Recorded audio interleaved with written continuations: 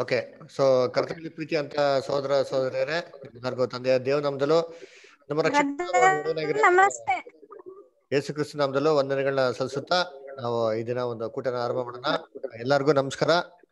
ಆ, ಇವನ್ನ ಕೂಟನ ಆರಂಭ ಮಾಡುವಾಗೆ ನಮ್ಮ ಅದಿಲ್ಲಿರಂತ ಯಲ್ಲಪ್ಪ ಬ್ರದರ್ ಒಂದು ಪ್ರಾರ್ಥನೆ ಮಾಡ್ಬೇಕು ಅಂತ ಕೇಳ್ಕೊಂತೀವಿ. ಪ್ರಾರ್ಥನೆ ಮಾಡಿಕೊಳ್ಳೋಣ. ಧನ್ಯವಾದಪ್ಪ, ತಂದೆಯಾದ ದೇವರೇ ತಂದೆಯಾದ ದೇವರೇ, ನಮ್ಮನ್ನು ಇದುವರೆಗೆ ಕಾಯ್ದು ಕಾಪಾಡಿ, ತಂದೆ, ಆರೋಗ್ಯವಾಗಿಟ್ಟು ನಡೆಸಿದ್ದಕ್ಕಾಗಿ ಧನ್ಯವಾದಪ್ಪ, ತಂದೆಯಾದ ದೇವರೇ. ತಂದೆಯಾದ ದೇವರೇ, ನೀನು ಕೊಟ್ಟಂತ ಜ್ಞಾನದಿಂದ ಈ ಟೆಕ್ನಾಲಜಿ ಉಪಯೋಗ ಮಾಡ್ಕೊಂಡು ನಿನ್ನ ಸತ್ಯವನ್ನು, ವಾಕ್ಯವನ್ನು ನಮಗೆ ಕೇಳಲಿಕ್ಕೆ ನಮಗೆ ಸಹಾಯ ಮಾಡಿಕೊಡ್ತಾ ಇದೆಯಲ್ಲ, ತಂದೆಯಾದ ದೇವರೇ. ಇದಕ್ಕಾಗಿ ಕೋಟಿ ಕೋಟಿ ಧನ್ಯವಾದಪ್ಪ, ತಂದೆ. ತಂದೆಯಾದ ದೇವರೇ, ನಾವು ಬೇರೆ ಬೇರೆ ರಾಜ್ಯದಿಂದ, ಬೇರೆ ಬೇರೆ ಊರುಗಳಿಂದ ಒಂದಾಗಿ ನಾವು ಎಲ್ಲ ಒಂದೇ ಕುಟುಂಬವಾಗಿ ತಂದೆ. ಆದ ದೇವರೇ, ನಿನ್ನ ವಾಕ್ಯವನ್ನು ಕೇಳುವಾಗ ನಮಗೆ ಬೇಕಾದ ಸಹಾಯವನ್ನು ಮಾಡಿಕೊಡಪ್ಪ. ತಂದೆಯಾದ ದೇವರೇ ತಂದೆಯಾದ ದೇವರೇ ಆದಿಯಿಂದ ಅಂತ್ಯದವರೆಗೂ ಯಾವುದೇ ಅಡೆತಡೆ ಇಲ್ಲದೆ ತಂದೆಯ, ತಂದೆಯಾದ ಈ ಕೂಟವನ್ನು ನಡೆಸಿಕೊಡ್ಬೇಕಂತ ಕೇಳ್ಕೊಂತೇನಪ್ಪ ತಂದೆ. ವಾಕ್ಯವನ್ನು ಬೋಧಿಸುವಂತ ಪ್ರದರ್ಗೋಸ್ಕರ ಬೇಡ್ಕೊಂತೇನೆ ತಂದೆಯಾದ ದೇವರೇ.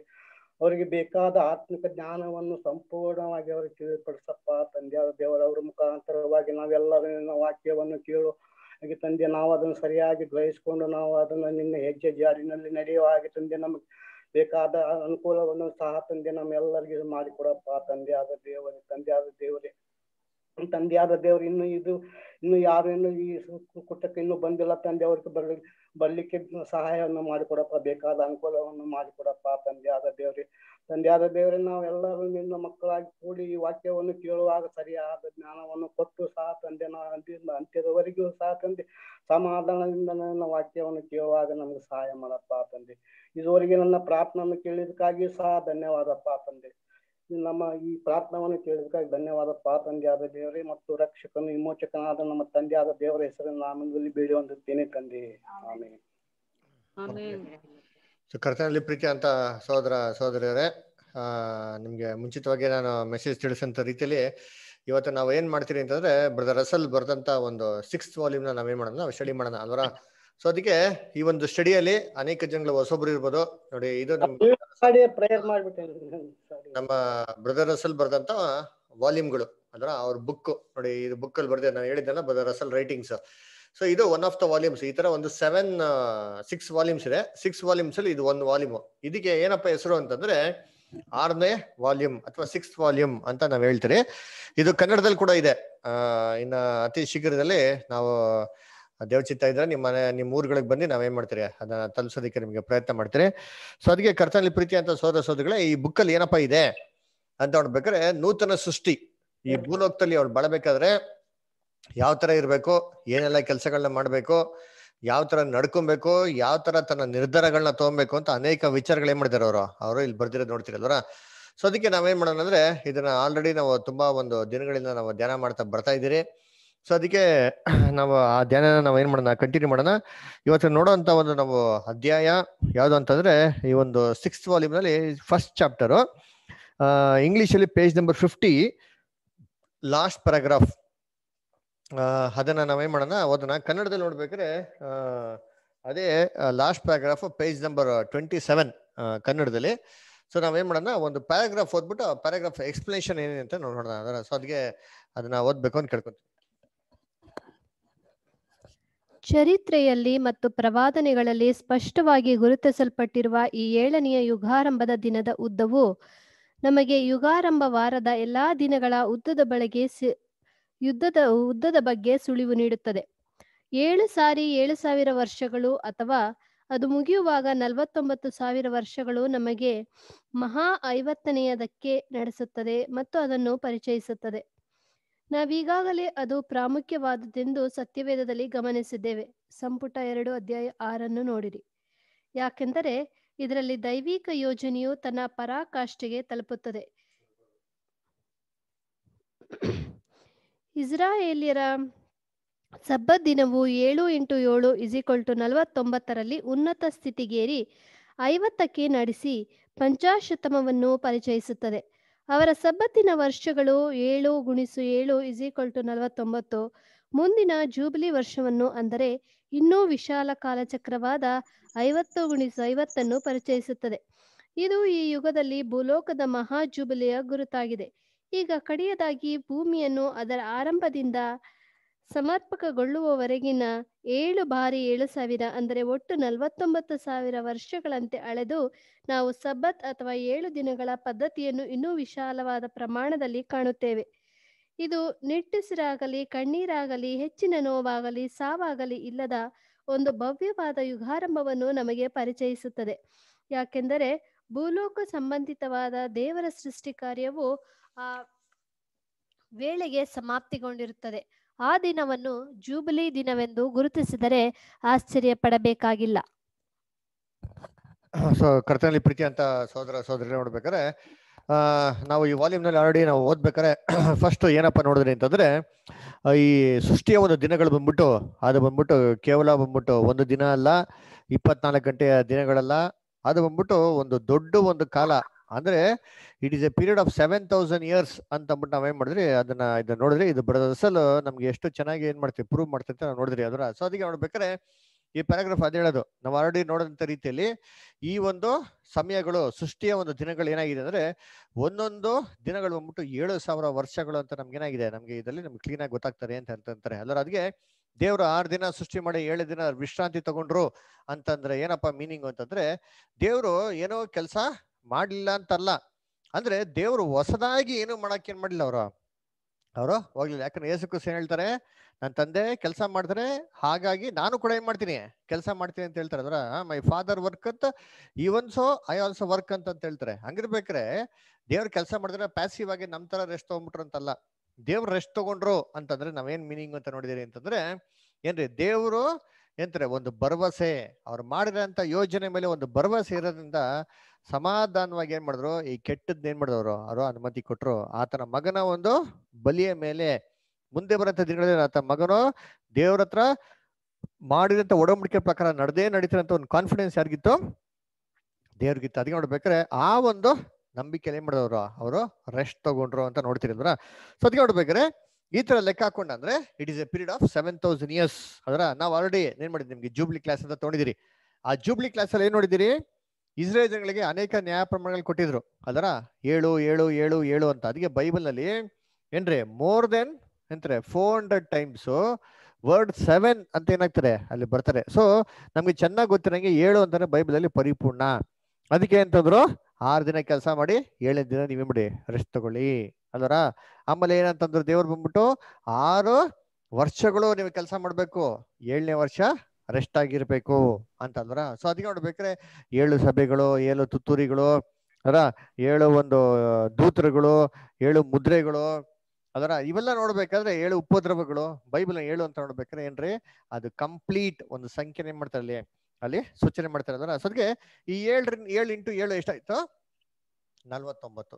ಅಲ್ವರ? ಅದಕ್ಕೆ ನಲ್ವತ್ತೊಂಬತ್ತು, ನಂತರ ಬರೋದು ಐವತ್ತು. ಅಲ್ವರ? ಅದಕ್ಕೆ ಇಸ್ರೇಲ್ ಜನಗಳಿಗೆ ಏನ್ ಮಾಡ್ತಾ ಇದ್ರು ದೇವರು? ಏಳು ದಿನ ಇಂಟು ಏಳು ದಿನ, ನಲ್ವತ್ತೊಂಬತ್ತು ದಿನ. ಐವತ್ತನೇ ದಿನ ಇಸ್ರೇಲ್ ಜನಗಳಿಗೆ ಏನಾಗಿತ್ತು ಅಂದ್ರೆ ಪಂಚಶತಮ ದಿನ ಅಂತ ಹೇಳ್ತಾರೆ ಡೇ ಆಫ್ ಪೆಂಟಿ ಕಾಸ್ಟ್ ಅಂತ ಹೇಳ್ತಾರೆ. ಪಾಸ್ ಅವರಿಂದ ಫಿಫ್ಟಿಯತ್ ಡೇ ಏನಪ್ಪಾ ಅಂದ್ರೆ ಪೆಂಟಿ ಕಾಸ್ಟ್ ದಿನ. ಅಂತ ಹೇಳ್ತಾರೆ. ಅದರ ಅದಿಗೆ ನೋಡ್ಬೇಕ್ರೆ ಆ ಅಪೋಸ್ಟಸ್ಗೆಲ್ಲ ಬಂದ್ಬಿಟ್ಟು ಯಾವಾಗ ಪವಿತ್ರ ಅಂತ ಬಂತು ಕ್ರಿಸ್ತನ ಸತ್ತಿದ್ದು ಒಂದು ಫಿಫ್ಟಿ ಏತ್ ಡೇ ಏನಾಯ್ತು ಅಲ್ಲಿ? ಅಲ್ಲಿ ಹೋಲಿಸ್ಬಿಟ್ಟು ಬಂತು. ಇದೇ ತರ ವರ್ಷದ ಎಣಿಕೆಯಲ್ಲಿ ಕೂಡ ಇತ್ತು. ಏನೋ ವರ್ಷದ ಎಣಿಕೆ ಅಂತಂದ್ರೆ ಏಳು ವರ್ಷ ಇಂಟು ಏಳು ವರ್ಷ ಮಾಡ್ಬೇಕು. ನಲ್ವತ್ತೊಂಬತ್ತು ವರ್ಷ ಬರೋದು. ಆ ನಲ್ವತ್ತೊಂಬತ್ತು ವರ್ಷ ಆಗಿದ ನಂತರ ಐವತ್ತನೇ ವರ್ಷ ಏನಾಗೋದು ಅಲ್ಲಿ? ಅಲ್ಲಿ ಬರೋದು. ಸೊ ಇಸ್ರೇಜ್ಗಳಿಗೆ ಏನಾಗೋದು ಅಂದ್ರೆ ಈ ಐವತ್ತು ವರ್ಷ ಬರ್ಬೇಕಾದ್ರೆ ಆ ಆ ಒಂದು ವರ್ಷಕ್ಕೆ ಅವ್ರಿಗೆ ಕರಿತಾ ಇದ್ದ ಹೆಸರು ಅಂದ್ರೆ ಜೂಬ್ಲಿ ಜೂಬ್ಲಿ ವರ್ಷ ಅಂತ ಏನ್ ಮಾಡ್ತಾ ಇದ್ರು ಅಲ್ಲಿ? ಅಲ್ಲಿ ಹೇಳ್ತಾ ಇದ್ರು ಅದರ ಸೊ ಅದಕ್ಕೆ ನಾವು ಲೋಕದಲ್ಲಿ ಎಷ್ಟೋ ಜೂಬ್ಲಿಗಳು ನೋಡಿದ್ರಿ. ಅದರ golden jubilee, silver jubilee platinum jubilee, diamond jubilee ಅಂತ ಏನ್ ಮಾಡಿದ್ವಿ ನಾವು ನೋಡಿದ್ರಿ ಅದರ ಏನಕ್ಕೆ ಇವೆಲ್ಲ ಮಾಡ್ಕೊಂಡ್ರು ಅಂತಂದ್ರೆ ನಾವು ಟ್ವೆಂಟಿ ಫೈವ್ ಇಯರ್ಸ್ ಎಂತಾರೆ ದಾಟಿದ್ರೆ ಏನ್ ಜೂಬ್ಲಿ ಅದು? Silver jubilee. ಫಿಫ್ಟಿ ಇಯರ್ಸ್ ದಾಟ್ರೆ ಗೋಲ್ಡನ್ ಜೂಬ್ಲಿ. ಈ ಐಡಿಯಾ ಎಲ್ಲಿ ಬಂತು ಜೂಬ್ಲಿ ಅಂತ? ಬಂದಿರೋದೆ ಬೈಬಲ್ ಇಂದ. ಅಲ್ವಾ ಅದಕ್ಕೆ ನೋಡ್ಬೇಕಾದ್ರೆ ಏನ್ರಿ? ಇವ್ರೇನ್ ಮಾಡ್ಬಿಟ್ರು ಐವತ್ತು ವರ್ಷ ಜೊತೆಗೆ ಇರಕ್ಕಾಗಲ್ವಲ್ಲ ಅದರ ಕಷ್ಟಪಟ್ಟು ಐವತ್ತು ವರ್ಷ ಅಚೀವ್ ಮಾಡೋದು ತುಂಬಾ ಕಷ್ಟ ಆಗ್ಬಿಟ್ಟು ಅದಕ್ಕೆ ಕಟ್ ಶಾಟ್ ಮಾಡ್ಬಿಟ್ರು. ಟ್ವೆಂಟಿ ಫೈವ್ ಇಯರ್ಸ್ ಒಂದು ಸಿಲ್ವರ್ ಜುಬ್ಲಿ ಏನ್ ಮಾಡಾಕ್ಬಿಟ್ರ? ಅಲ್ಲಿ ಮಾಡಾಕ್ಬಿಟ್ರ? ಅಂದ್ರೆ ಅದಕ್ಕೆ ಕರ್ತನಲ್ಲಿ ಪ್ರೀತಿ ಅಂತ ಸೋರ ಸೋರ್ಗಳೇ ನೋಡ್ಬೇಕಾದ್ರೆ, ಏನ್ರಿ? ಆ? ಈ ಒಂದು ಇಸ್ರೇಲ್ ಜನಗಳಿಗೆ ಏನಪ್ಪ ಆಗಿತ್ತು ಅಂದ್ರೆ ನಲವತ್ತೊಂಬತ್ತನೇ ವರ್ಷ ಕೂಡ ರೆಸ್ಟು ಇದಾಗಿ ನೆಕ್ಸ್ಟ್ ಬರೋಂತ ಐವತ್ತನೇ ವರ್ಷ ಕೂಡ ಏನಾಗಿತ್ತು? ರೆಸ್ಟು ಅದಕ್ಕೆ ದೇವರು ಅವಾಗ ಆಹಾರ ಹೆಂಗಪ್ಪ ಕೊಡ್ತಾ ಇದ್ರು ಅಂದ್ರೆ ಇದು ಬೇಕಾಗಿರೋಂಥ ಆಹಾರನ ದೇವರು ನಲ್ವತ್ತೆಂಟನೇ ವರ್ಷದಲ್ಲೇ ಕೊಡ್ತಾ ಇದ್ರು. ಅದರ ಹೆಂಗಾಗಬೇಕದು ನಲ್ವತ್ತೊಂಬತ್ತನೇ ವರ್ಷಕ್ಕೆ ಬರಬೇಕು, ಐವತ್ತನೇ ವರ್ಷಕ್ಕೆ ಬರಬೇಕು. ಐವತ್ತೊಂದನೇ ವರ್ಷದಲ್ಲಿ ಬಿತ್ತನೆ ಮಾಡಿ ಕುಯ್ಯೋ ತನಕ ಏನಾಗಿರ್ಬೇಕು? ಇರ್ಬೇಕು. ಅಷ್ಟೊಂದು ಸಮೃದ್ಧಿಯಾಗಿ ಏನ್ ಮಾಡ್ತೀನಿ ದೇವರು?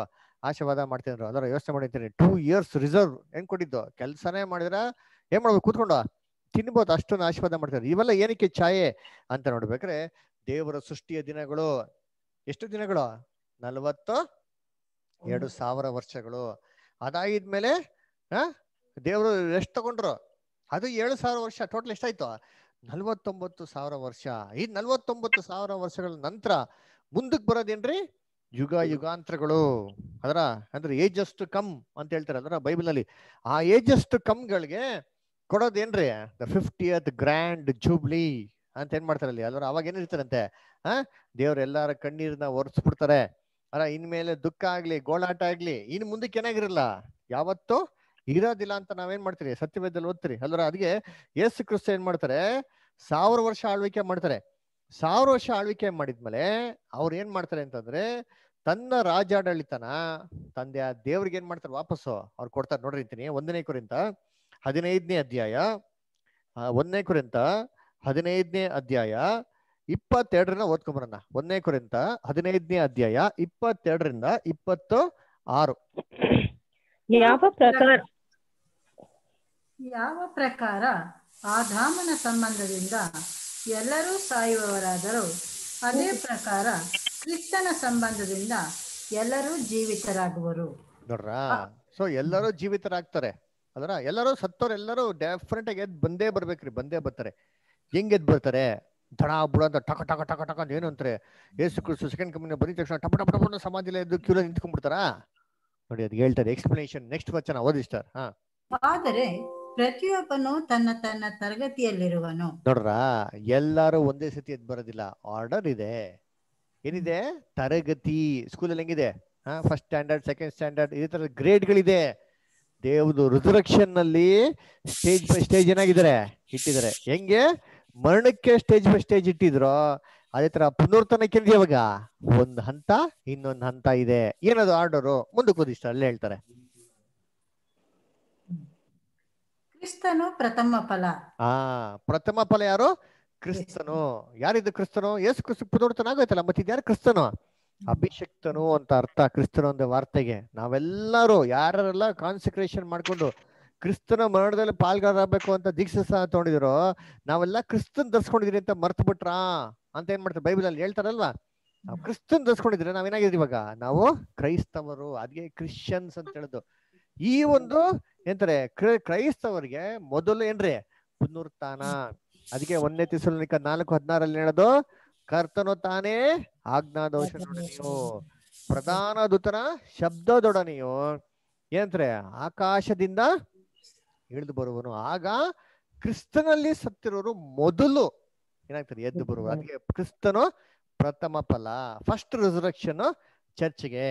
ಅದರ ಅದಕ್ಕೆ blessed are the dead who die in the Lord from hence forth ಅದರ ದೇಶ shall rest from the labours they works to continue ಅದರ ಅದಕ್ಕೆ ನೋಡ್ಬೇಕಾದ್ರೆ ಏನ್ರಿ? ಹಾ? ಎರಡನೇ ಒಂದು ಏನ್ರಿ? ಮೊದಲನೇ ಪುನರ್ತನದಲ್ಲಿ ಪಾಲ್ಗೊಂಡಿರೋರು ಭಾಗ್ಯವಂತರು. ಇನ್ಮೇಲೆ ಅವ್ರಿಗೆ ಎರಡನೇ ಮನದ ಅಧಿಕಾರ ಇಲ್ಲ ಅಂತ ಪ್ರಕಟಣೆ ಇಪ್ಪತ್ತನೇ ಅಧ್ಯಾಯ ನಾಲ್ಕರಿಂದ ಆರಲ್ಲಿ ಹೇಳ್ತಾರೆ. ಆದ್ರೆ ಅದಕ್ಕೆ ಇವಾಗ ನೋಡಿ ನೆಕ್ಸ್ಟ್ ಮುಂದಕ್ಕೆ ನೆಕ್ಸ್ಟ್ ಆರ್ಡರ್ ಏನಂತೆ? ಹಾ. ತರುವಾಯ ಕ್ರಿಸ್ತನ ಪ್ರತ್ಯಕ್ಷತೆಯಲ್ಲಿ ಆತನವರು ಎದ್ದು ಬರುವರು. ತರುವಾಯ. ಆಮೇಲೆ ನೆಕ್ಸ್ಟ್ ನೋಡಿ ತರುವಾಯ. ಆಮೇಲೆ ಆತನು ಆತನು ಓಕೆ ಸ್ಟಾರ್ ಒಂದೊಂದಾಗಿ ನೋಡ್ಕೊಂಡು ಹೋಗೋಣ. ನೋಡಿ ತರುವಾಯ ಕ್ರಿಸ್ತನ ಪ್ರತ್ಯಕ್ಷತೆಯಲ್ಲಿ ಅಂಡರ್ಲೈನ್ ಮಾಡ್ಕೊಳ್ಳಿ. ಯಾವಾಗ? ಕ್ರಿಸ್ತನ ಕ್ರಿಸ್ತನ ಪ್ರತ್ಯಕ್ಷ ಆಗಿರ್ಬೇಕಾರೆ ಆತನವ್ರು ಏನಾಗ್ತಾರೆ ಇವಾಗ? ಎದ್ದು ಬರ್ತಾರೆ. ಅಲ್ಲರ? ಏನಂತಾರೆ ಇವಾಗ ಯಾರ್ಯಾರು ಕ್ರಿಸ್ತನವ್ರು ಆಗ್ತಾರೆ? ಯೇಸು ಕ್ರಿಸ್ತ ಎರಡನೇ ಬರೀಕೆಯಲ್ಲಿ ಬಂದ್ಮೇಲೆ ಎಲ್ಲಾ ಸತ್ತೋದ ಮನುಷ್ಯಗಳನ್ನ ಎಬ್ಬಿಸಿದ್ಮೇಲೆ ಎಲ್ಲಾರು ಯಾರ ಮಕ್ಳಾಗ್ತಾರೆ ದೇವ್ರ ಮಕ್ಳು ಆಗ್ತಾರೆ. ಅಲ್ವರ? ಅದೇ ನೋಡ್ಬೇಕಾರೆ ಏನ್ರಿ, ಇವ್ರೆಲ್ಲರೂ ಏನಾಗ್ತಾರೆ? ಎದ್ದು ಬರ್ತಾರೆ. ನೆಕ್ಸ್ಟ್ ಆಮೇಲೆ ಏನಾಗ್ತದೆ? ಹಾ. ಎಲ್ಲಾ ದೊರೆತನವನ್ನು, ಎಲ್ಲ ಅಧಿಕಾರವನ್ನು, ಬಲವನ್ನು ನಿವೃತ್ತಿ ಮಾಡಿ ತಂದೆಯಾಗಿರುವ ದೇವರಿಗೆ ರಾಜ್ಯವನ್ನು ಒಪ್ಪಿಸಿಕೊಡುವಾಗ ಸಮಾಪ್ತಿ. ನೋಡ್ರ, ಸಮಾಪ್ತಿ. ಕ್ರೈಸ್ಟ್ದು ರೀಂದು ಆಳ್ವಿಕೆದು ಸಮಾಪ್ತಿ. ಯಾವಾಗ ಒಂದು? ಎಲ್ಲ ದೊರೆತನ, ಎಲ್ಲ ಅಧಿಕಾರ, ಇವೆಲ್ಲವನ್ನು ಏನ್ ಮಾಡ್ಬೇಕಂತ ಅವರು? ಅಧೀನ ಮಾಡಿ ಯಾರು ಕೊಡ್ಬೇಕಂತ ಇವಾಗ? ತಂದೆಯ ದೇವ್ರಿಗೆ ಸರೆಂಡರ್ ಮಾಡ್ಬೇಕಾದ್ರೆ ಕ್ರೈಸ್ಟ್ ಕೊಟ್ಟಿರೋಂಥ ಆಳ್ವಿಕೆ ಉದ್ದೇಶನ ಏನು ಅಂದ್ರೆ ಎಲ್ಲ ದೊರೆತನ, ಎಲ್ಲ ಅಧಿಕಾರನ ಏನ್ತಾರೆ ತಂದೆಯ ದೇವ್ರಿಗೆ ಎಂತಾರೆ ಸಬ್ಮಿಟ್ ಮಾಡೋ ತರ ಏನ್ ಮಾಡ್ಬೇಕು? ಯೇಸು ಕ್ರಿಸ್ತು ರೂಲ್ ಮಾಡ್ಬೇಕಂತ ಹೇಳ್ತಾರೆ. ಅದಕ್ಕೆ ಹೇಳ್ತಲ್ಲ ಇಪ್ಪತ್ತೈದನೇ ವಚನದಲ್ಲಿ ಏನ್ ಹೇಳ್ತಾರೆ ನೋಡ್ತೀನಿ ಟ್ವೆಂಟಿ ಫಿಫ್ತ್ ವರ್ಸ್ ಯಾಕೆಂದರೆ ತಾನು ಎಲ್ಲಾ ವಿರೋಧಿಗಳನ್ನು ತನ್ನ ಪಾದಗಳ ಕೆಳಗೆ ಹಾಕಿಕೊಳ್ಳುವ ತನಕ ರಾಜ್ಯವನ್ನಾಳುವುದು ಮತ್ ಅವಶ್ಯ. ಕಂಟಿನ್ಯೂ ಮರಣವು ಕಡೆ ಶತ್ರುವಾಗಿ ನಿವೃತ್ತಿಯಾಗುವುದು. ದೇವರು ಸಮಸ್ತವನ್ನು ಆತನ ಪಾದಗಳ ಕೆಳಗೆ ಹಾಕಿ ಆತನಿಗೆ ಅಧೀನ ಮಾಡಿದ್ದಾನೆಂಬುದಾಗಿ ಹೇಳಿ ಹೇಳಿದೆಯಲ್ಲ. ಓಕೆ ಸರ್ ಥ್ಯಾಂಕ್ ಯು ಅದಕ್ಕೆ ನೋಡ್ಬೇಕಾದ್ರೆ ಹೇಳ್ತಾರೆ ಕಣೆ ಶತ್ರು ಯಾರಂತೆ? ಮರಣ ಅಂತ ಹೇಳ್ತಾರೆ. ಅಂದ್ರೆ ಈ ಮರಣನ ಸಂಪೂರ್ಣವಾಗಿ ಯೇಸು ಕುಸು ಭೂಲೋಕದಲ್ಲಿ ತೆಗೆ ತನಕ ದೇವ್ರೇನ್ ಮಾಡ್ತಾರೆ? ಆಳ್ವಿಕೆ ಮಾಡಕ್ಕೆ ಅವ್ರಿಗೆ ಏನ್ ಮಾಡ್ತಾರೆ? ಪರ್ಮಿಷನ್ ಕೊಡ್ತಾ ಇದ್ದಾರೆ. ಅದಕ್ಕೆ ನೋಡ್ಬೇಕಾದ್ರೆ ಈ ಟೈಮಲ್ಲಿ ಸಂಪೂರ್ಣವಾಗಿ ಏನ್ರಿ? ಆ ಒಂದು ಡೆತ್ ಕಂಡೀಷನ್ ಭೂಲೋಕದಲ್ಲಿ ತೆಗೆದಿಕ್ಕೆ, ಏನ್ರಿ, ಕ್ರೈಸ್ಟ್ಗೆ ತೌಸಂಡ್ ಇಯರ್ಸ್ ಕೊಟ್ಟು ಅದೇ ನೋಡಿರ್ತೀನಿ ಏನ್ರಿ ತೌಸಂಡ್ ಇಯರ್ಸ್ ನೆಕ್ಸ್ಟ್ ಏನಾಗ್ತದೆ ಅಂತಂದ್ಬಿಟ್ಟು ಪ್ರಕಟಣೆ. ಎಲ್ರಿ, ಪ್ರಕಟಣೆ. ಇಪ್ಪತ್ತೆರಡು, ಇಪ್ಪತ್ತೆರಡನೇ ಅಧ್ಯಾಯ. ಇವಾಗ ರಾಜ್ಯನ ಕ್ರೈಸ್ಟ್ ಏನ್ ಮಾಡ್ಬಿಟ್ರೆ? ದೇವ್ರಿಗೆ ಸರೆಂಡರ್ ಮಾಡ್ಬಿಟ್ರಲ್ಲ? ದೇವ್ರು ಏನ್ ಮಾಡ್ತಂತೆ ರಾಜ್ಯನ ತಗೊಂಡು? ನೋಡಿ Revelation twenty second chapter verse five okay verse five correct ಓದಿ ಇನ್ನೂ ರಾತ್ರಿ ಇರುವುದಿಲ್ಲ. ಅವರಿಗೆ ದೀಪದ ಬೆಳಕು ಸೂರ್ಯನ ಬೆಳಕು ಬೇಕಾಗುವುದಿಲ್ಲ. ದೇವರಾದ ಕರ್ತನೇ ಅವರಿಗೆ ಬೆಳಕನ್ನು ಕೊಡುವನು. ಅವರು ಯುಗ ಯುಗಾಂತರಗಳಲ್ಲಿಯೂ ಆಳುವರು.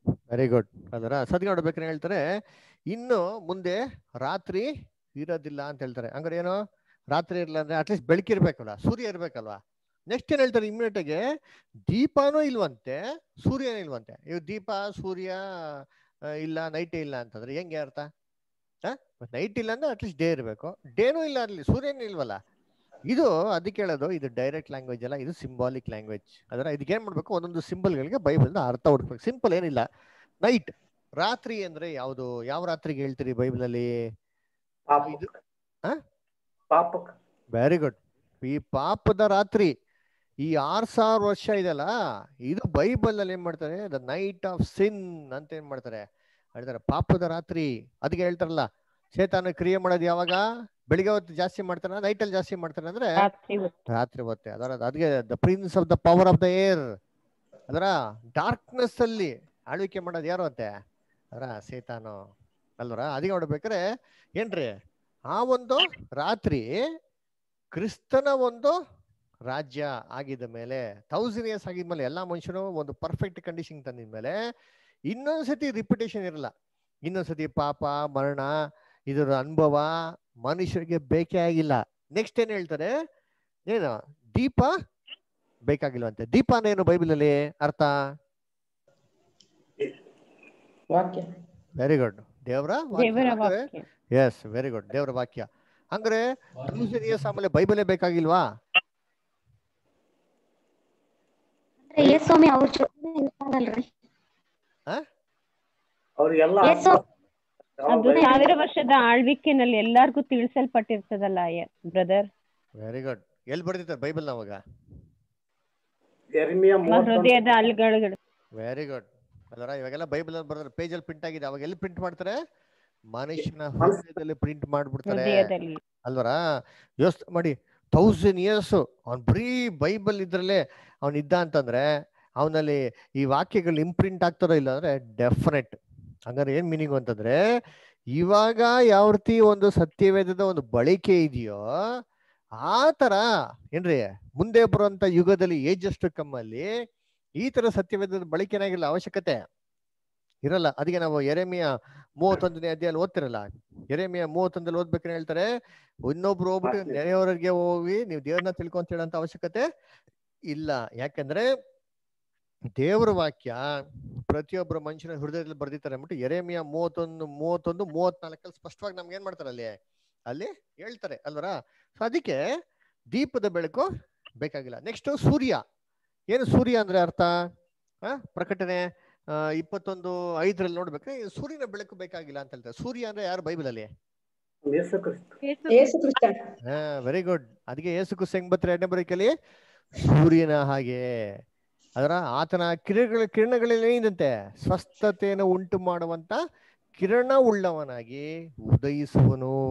ಅದರ ಅದಕ್ಕೆ ಕ್ರೈಸ್ಟ್ ಸೂರ್ಯನ್ ತರ ಆಳ್ವಿಕೆ ಮಾಡ್ತಾರೆ. ಅವ್ರಿಗೆ ಥೌಸಂಡ್ ಇಯರ್ಸ್ ಇದ್ರ ನಂತರ ಕ್ರೈಸ್ಟ್ ಆಳ್ವಿಕೆ ಮಾಡೋ ಅವಶ್ಯಕತೆ ಇಲ್ಲ. ಯಾಕೆ? ದೇವರೇ ಅವ್ರಿಗೆ ಏನಾಗಿರ್ತಾರಂತೆ? ಬೆಳಕಾಗಿರ್ತಾರೆ. ಅಲ್ವರ? ಆಮೇಲೆ ನೆಕ್ಸ್ಟ್ ಆಮೇಲೆ ಅವರು ಆ ಯುಗ ಯುಗಾಂತರಗಳಿಗೆ ಆಳ್ವಿಕೆ ಮಾಡ್ತಾರಂತೆ. ಸರಿ, ಮನುಷ್ಯರು ಯಾರ ಮೇಲೆ ಆಳ್ವಿಕೆ ಮಾಡ್ತಾರೆ? ಇವಾಗ ಮನುಷ್ಯ ಮನುಷ್ಯನ ಮೇಲೆ ಆಳ್ವಿಕೆ ಮಾಡ್ತಾ ಇದ್ದಾನೆ. ಕ್ರಿಸ್ತನ ರಾಜ್ಯದಲ್ಲಿ ಪರಿಪೂರ್ಣವಾಗಿರಂತ ಒಬ್ಬೊಬ್ಬ ಮನುಷ್ಯ, ಅಂದ್ರೆ ಆದಾಮನ ಸ್ವರೂಪದಲ್ಲಿರುವಂತ ಪ್ರತಿಯೊಬ್ಬ ಮನುಷ್ಯ ಏಸು ಕ್ರಿಸ್ತನ ಸ್ವರೂಪದಲ್ಲಿ ಬಂದಿರಂತ ಪ್ರತಿಯೊಬ್ಬ ಮನುಷ್ಯ, ಅವ್ರು ಯಾರ ಮೇಲೆ ಆಳ್ವಿಕೆ ಮಾಡ್ತಾರೆ ಅಂತಂದ್ರೆ, ಆದಾಮಿಗೆ ಯಾರ ಮೇಲೆ ಆಳ್ವಿಕೆ ಮಾಡಕ್ ಕೊಟ್ಟಿದ್ರು? ಭೂಮಿ ಮೇಲೆ ದೊರೆತನ ಮಾಡು. ಪ್ರಾಣಿಗಳು, ಪಕ್ಷಿಗಳ ಮೇಲೆ ನೀನ್ ದೊರೆತನ ಮಾಡು ಅಂತ ಹೊರತು, ಮನುಷ್ಯ ಮನುಷ್ಯ ಮೇಲೆ ದೊರೆತನ ಮಾಡು ಅಂತ ಹೇಳಿಲ್ಲ. ಈ ತರ ದೊರೆತನನ ವಾಪಸ್ ದೇವ್ರ ಏನ್ ಮಾಡ್ತಾರೆ? ಆದಾಮಿನ ವಂಶದವ್ರಿಗೆ ಕೊಡ್ತಾರೆ. This is the great grand jubilee ಕಾಲದಲ್ಲಿ ಜೂಬ್ಲಿ ಏನಾಯ್ತು? ಎಲ್ಲ ರಿಟರ್ನ್ ಆಯ್ತು ನೋಡ್ರಿ ಅಂತೀನಿ. ಏನ್ರಿ, ವಾಪಸ್ ಏನಾಯ್ತಲ್ಲ? ಕೊಟ್ಟಿರೋದೆಲ್ಲ ವಾಪಸ್ಸು ತಗೊಂಡ್ಬಿಡ್ಬೇಕು. ಅಲ್ವರ? ಏನೆಲ್ಲ ಕೊಟ್ಟಿದ್ರು ವಾಪಸ್ ಏನ್ ಮಾಡ್ಬೇಕು ಯುಬ್ಲಿ ಕಾಲದಲ್ಲಿ? ಬಿಡುಗಡೆ. ನೆಲ ತೋಡಿದ್ರೆ ನೆಲ ಕೊಟ್ಬಿಡ್ಬೇಕು. ಹಾ, ಈ ಈ ತರ ರೂಲ್ಸ್ ನಮ್ಗಿದ್ರೆ ಎಷ್ಟು ಚೆನ್ನಾಗಿರ್ತಾ ಇದ್ರಿ ಎಲ್ಲರೂ ಶ್ರೀಮಂತರಾಗ್ಬಿಡೋರು. ಯಾವಾಗ? At end of fifty years ಎಲ್ಲ ಈಕ್ವಲ್ ನೋಡಿ ಇಸ್ರೇಲ್ ಅಲ್ಲಿ ಪ್ರತಿ ಐವತ್ತನೇ ವರ್ಷಕ್ಕೆ ಎಲ್ಲ ಸಮಾನವಾಗಿ ಆಗ್ಬಿಡೋರು ಯಾರು? ಭಿಕ್ಷಿಕ ಇಲ್ಲ ಐಶ್ವರ್ಯವಂತನಿಲ್ಲ ಎಷ್ಟು ಸೂಪರ್ ಆಗಿರಲ್ಲ ಕೊಟ್ಟಿರೋ ನೋಡಿದ್ದೀನಿ. ಅದಕ್ಕೆ ಹೇಳ್ತಾರೆ ಅಪೋಸ್ತ ಕೃತ್ಯಗಳಲ್ಲಿ ಮೂರನೇ ಅಧ್ಯಾಯ ನೋಡಿ ಅಂತೀನಿ. ಅಪೋಸ್ತ ಕೃತ್ಯಗಳು ಮೂರನೇ ಅಧ್ಯಾಯದಲ್ಲಿ ಒಂದು ವಾಕ್ಯ ಹೇಳ್ತಾರೆ. ಕ್ರೈಸ್ಟ್ ಅವ್ರು ಬಂದು ಮಾಡೋಂಥ ಕೆಲಸ ಏನು ಅಂತ ಹೇಳ್ತಾರೆ. ಅಪೋಸ್ತ ಕೃತ್ಯಗಳು ಮೂರನೇ ಅಧ್ಯಾಯದಲ್ಲಿ ವರ್ಷ ಟ್ವೆಂಟಿ ಒನ್ ಆದರೆ ಸಮಸ್ತವನ್ನು ಸರಿ ಮಾಡುವ ಕಾಲವು ಬರುವ ತನಕ ಪರಲೋಕವೇ ಆ ಕ್ರಿಸ್ತನ ಸ್ಥಾನವಾಗಿರಬೇಕು ಆ ಕಾಲದ ವಿಷಯವಾಗಿ ದೇವರು ಪೂರ್ವದಲ್ಲಿದ್ದ ತನ್ನ ಪರಿಶುದ್ಧ ಪ್ರವಾದಿಗಳ ಬಾಯಿಂದ ಹೇಳಿಸಿದ್ದಾನೆ? ಅಲ್ಲಿ ಹೇಳ್ತಾರೆ, ಪೂರ್ವದಲ್ಲಿದ್ದ ಪ್ರವಾದಿಗಳ ಬಾಯಿಯಿಂದ ದೇವರೇ ಮಾಡಿದ್ರಂತೆ? ಹೇಳಿಸಿದ್ದಾರೆ. ಯಾವ ಪ್ರವಾದಿಗಳು? ಎಲ್ಲಾ ಪ್ರವಾದಿಗಳ ಬಾಯಿಂದ ದೇವ್ರು ಇದೇ ಹೇಳಿಸಿರೋದು. ಏನ್ ಹಂಗಾರೆ ಸಮಸ್ತವನ್ನು ಸರಿ ಮಾಡುವಂತ ಕಾಲ ಅಂತೆ. ಅದು ಯಾವಾಗ ಆಗ್ತದೆ ಅಂತ ಹೇಳ್ಬೇಕಾರೆ ಹೇಳ್ತಾರೆ, ಸಮಸ್ತವನ್ನು ಸರಿ ಮಾಡುವಂತ ಕಾಲ ಬರುವ ತನಕ ಏನು ಕ್ರಿಸ್ತನು ಎಲ್ಲಿರ್ಬೇಕಂತೆ? ಹ? ಪರಲೋಕದಲ್ಲಿರ್ಬೇಕಂತೆ. ಹಂಗ್ರೆ ಏಸು ಕ್ರಿಸ್ತು ಪರಲೋಕದಿಂದ ಭೂಲೋಕಕ್ಕೆ ಬರ್ತಾರೆ ಅಂತಂದ್ರೆ ಈ ಸಮಸ್ತವನ್ನು ಸರಿ ಮಾಡೋ ಅಂತ ಒಂದು ಕಾಲ ಏನಾಗ್ಬೇಕು? ಸ್ಟಾರ್ಟ್ ಆಗ್ಬೇಕು ಆರಂಭ ಆಗ್ಬೇಕು. ಅಲ್ವರ? ಹಂಗಂದ್ರೆ ಏನ್ ಮೀನಿಂಗು ಕ್ರೈಸ್ಟ್ ಬಂದಿದ ತಕ್ಷಣ ಅವ್ರು ಮಾಡಂತ ಒನ್ ಆಫ್ ದ ಕೆಲಸ ಏನು ಅಂದ್ರೆ ಸಮಸ್ತವನ್ನು ಸರಿ ಮಾಡ್ತಾರೆ. ಏನು ಸಮಸ್ತವನ್ನು ಸರಿ ಮಾಡೋದು? ಫಸ್ಟ್ ಎಲ್ಲ ಹಿಂಗಿತ್ತು. ಏನ್ರಿ? ದೇವ್ರ ಪರ್ಪಸ್ ದೇವ್ರ ಒರಿಜಿನಲ್ ಪ್ಲಾನ್ ಮೈಂಡ್ ಮನುಷ್ಯನ ಸೃಷ್ಟಿ ಮಾಡ್ಬೇಕಾದ್ರೆ ದೇವ್ರ ಸೃಷ್ಟಿ ಮಾಡಿದ್ದೇನಕ್ಕೆ ಸಾಯೋದಿಕ್ಕೆ ಸೃಷ್ಟಿ ಮಾಡಿದ್ರ? ಇಲ್ಲ. ಇಲ್ಲ. ನಿತ್ಯ ಜೀವ. ರಾಜನಾಗಿರು. ದೊರೆತನ ಮಾಡು. ಸುಖವಾಗಿರು. ಸಂತೋಷವಾಗಿರು ಅಂತಾನೆ ಏನ್ ಮಾಡಿದ್ದು? ಅವನಿಗೋಸ್ಕರ ದೇವ್ರು ಎಲ್ಲವನ್ನೂ ಸೃಷ್ಟಿ ಮಾಡಿದ್ದು. ಹಂಗ ಇವೆಲ್ಲವನ್ನು ವಾಪಸ್ಸು ಕೊಡೋದಿಕ್ಕೇನೆ ಏಸು ಕ್ರಿಸ್ತನಾಗದು ಬರೋದು ಅಲ್ವರ ಅದಕ್ಕೆ ನೋಡ್ಬೇಕಾದ್ರೆ ಇವೆಲ್ಲ ನಾವು ಓದೋಣ. ದೇವ್ರ ಚಿತ್ತರ ಮುಂದೆ ಬರೋಂಥ ದಿನಗಳಲ್ಲಿ ತೌಸಂಡ್ ಇಯರ್ಸ್ ಬಗ್ಗೆ ನಾವು ಫುಲ್ ಕಂಪ್ಲೀಟ್ ಎಕ್ಸ್ಟೆನ್ಸಿವ್ ಸ್ಟಡಿ ಏನ್ ಮಾಡೋಣ ನಾವು? ನಾವು ಮಾಡೋಣ. ಅದ್ರ ಅದಕ್ಕೆ ನಾವು, ನೀವು ಕಣ್ಮುಚ್ಕೊಂಡು ಸ್ವಲ್ಪ ತಿಂಕ್ ಮಾಡಿ ನೋಡಿ. ನಮ್ಮ ಕೃಷ್ಣ ಬಾಬು ನಿಮ್ಗೆ ಆಡಿ ಹೇಳೋರೆ, ಅದರ ಏನೆಲ್ಲ ಇತ್ತು, ಏನೆಲ್ಲ ಸರಿ ಆಗ್ತಾ ಇತ್ತು ಇವಾಗ? ಎಷ್ಟು ಒಂದೊಂದು ದಿನ ರೀ. ಎವ್ರಿ ಡೇ ಒಂದಲ್ಲ ಒಂದು ದಿನಗಳು ಏನಾಗ್ತಾರೆ? ಒಂದೊಂದು ಕಾರ್ಯಗಳು ಸರಿ ಆಗ್ತಾರ ನಾವ್ ಏನ್ ಮಾಡ್ಬೋದು? ನಮ್ಮ ದೃಷ್ಟಿಯಲ್ಲಿ. ಕ್ಲೀನ್ ಆಗಿ ನೋಡಬಹುದು ಅದರ ಅದಕ್ಕೆ ನೋಡ್ಬೇಕಾರೆ ಏನ್ರಿ ಹೇಳದ್ ಬ್ರದರ್ಸ್ ಸಲ ಹೇಳ್ತಾರೆ. Fifty year is great grand jubilee ಅದರ ಐವತ್ತನೇ ವರ್ಷದಲ್ಲಿ ಇಸ್ರೇಲ್ ಅಲ್ಲಿ ಏನ್ರಿ ಔತಣನ ಔತಣ. ಅಲ್ದ್ರ ಏನ್ರಿ ತುತ್ತೂರಿ ಊದ ನೋಡ್ರಿ ತುತ್ತೂರಿ ಊದಿದ ತಕ್ಷಣ ಏನು ಒಂದು ಸಂತೋಷ, ಏನು ಒಂದು ಕೊಂಡಾಡತ. ಅಲ್ವರ ಏನಕ್ಕಪ್ಪ ಏನ್ರಿ ಅಯ್ಯೋ ನಮ್ ಕಳ್ದೋಗಿದೆಲ್ಲ ಬಂದ್ಬಿಡ್ತಾರೆ ವಾಪಸ್ ನಮ್ಗೆ. ನಮ್ಮ ಒಂದು ಆಸ್ತಿ ಎಲ್ಲ ನಮ್ಗೆ ಬರ್ತದೆ. ಅಯ್ಯೋ ನಮ್ಮ ಒಂದು ದಾಸವತ್ತಲ್ಲಿ ಹೋಗಿರಂತ ಸಹೋದರ ಸಹೋದರಿಗಳು ಮನೆಗೆ ಏನಾಗ್ತಾರೆ? ಬರ್ತಾರೆ ಅಂತೇನ್ರಿ ಒಂದು ಸಂತೋಷ ಅಲ್ವರ? ಆದ್ರೆ ಇನ್ನೊಬ್ಬ ಇನ್ನೊಬ್ರು ಆಪೋಸಿಟ್ ಆಗಿರೋರಿಗೆ ಭಯ ಆಗೋದು. ಒಂದು ಟೀಮ್ಗೆ ತುತ್ತೂರಿ ಊದ್ರೆ ಸಂತೋಷ ಆದ್ರೆ ಇನ್ನೊಂದು ಟೀಮ್ಗೆ ಏನಾಗೋದು? ತುತ್ತೂರಿ ಊದಿದ ತಕ್ಷಣ ಆ? ಭಯ. ಯಾಕೆ ಭಯ? ಎಲ್ಲ ಕೊಟ್ ಎಲ್ಲ ಕೊಟ್ಬಿಡ್ಬೇಕಲ್ಲ ಬ್ರದರ್ ಹಾ ಅದೇ ಎಲ್ಲ ಕಳ್ಕೊತಾರಲ್ಲ. ಕಳ್ಕೊಂಡ್ಬಿಡ್ತಾರಲ್ವಾ? ಕರೆಕ್ಟ್ ವೆರಿ ಗುಡ್ ನೋಡ್ರಿ ಇದೇ ಸಮಸ್ತವನ್ನು ಸರಿ ಮಾಡೋದು ಓದಿ. Isaiah twenty four verse one ಓದಿ ಅನಿತಾ ಅಷ್ಟ ಓದಿ. ಓದ್ತೀರಾ? ಅನಿತಾ ಅಷ್ಟು ಆಗ್ತದ? ಏಷ ಇಪ್ಪತ್ನಾಲ್ಕನೇ ಅಧ್ಯಾಯ. ಒಂದರಿಂದ ಓದ್ಕೊಂಬನ್ನಿ ಒಂದರಿಂದನಾ.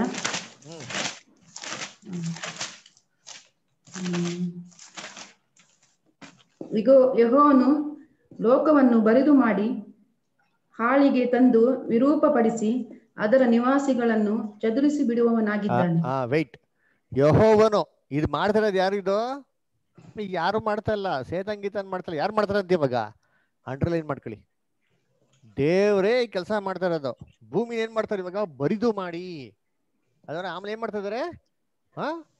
ಏನ್ ಮಾಡ್ತಾರೆ? ನಿರೂಪಗೊಳಿಸಿ. ಅಲ್ದರ ಆಮೇಲೆ ಜನ ನಿವಾಸಿಗಳು ಏನ್ ಮಾಡ್ತಾವ್ರಂತೆ? ಎಲ್ಲ ಕಡೆ. ಚೆದರ್ತಾವ್ರಂತೆ. ಅದರ ಏನಕ್ಕೆ? ಅದರ ಅರ್ಥ ಏನಿದು? ಅಂದ್ರೆ ದೇವರು ಭೂಮಿನ ಎಲ್ಲಾರನ್ನೂ ಸಾಯಿಸ್ಬಿಡ್ತಾರೆ ಭೂಮಿನೇ ಕ್ಲೀನ್ ಮಾಡ್ಬಿಡ್ತಾರೆ ಅಂತನಾ? ಇದ್ರ ಮೀನಿಂಗು ನೆಕ್ಸ್ಟ್ ವರ್ಸ್ ಅಲ್ಲಿ ಹೇಳ್ತಾರೆ ಅಂತೀನಿ ಮುಂದಿನ ವಚನ ಎರಡನೇ ವಚನ.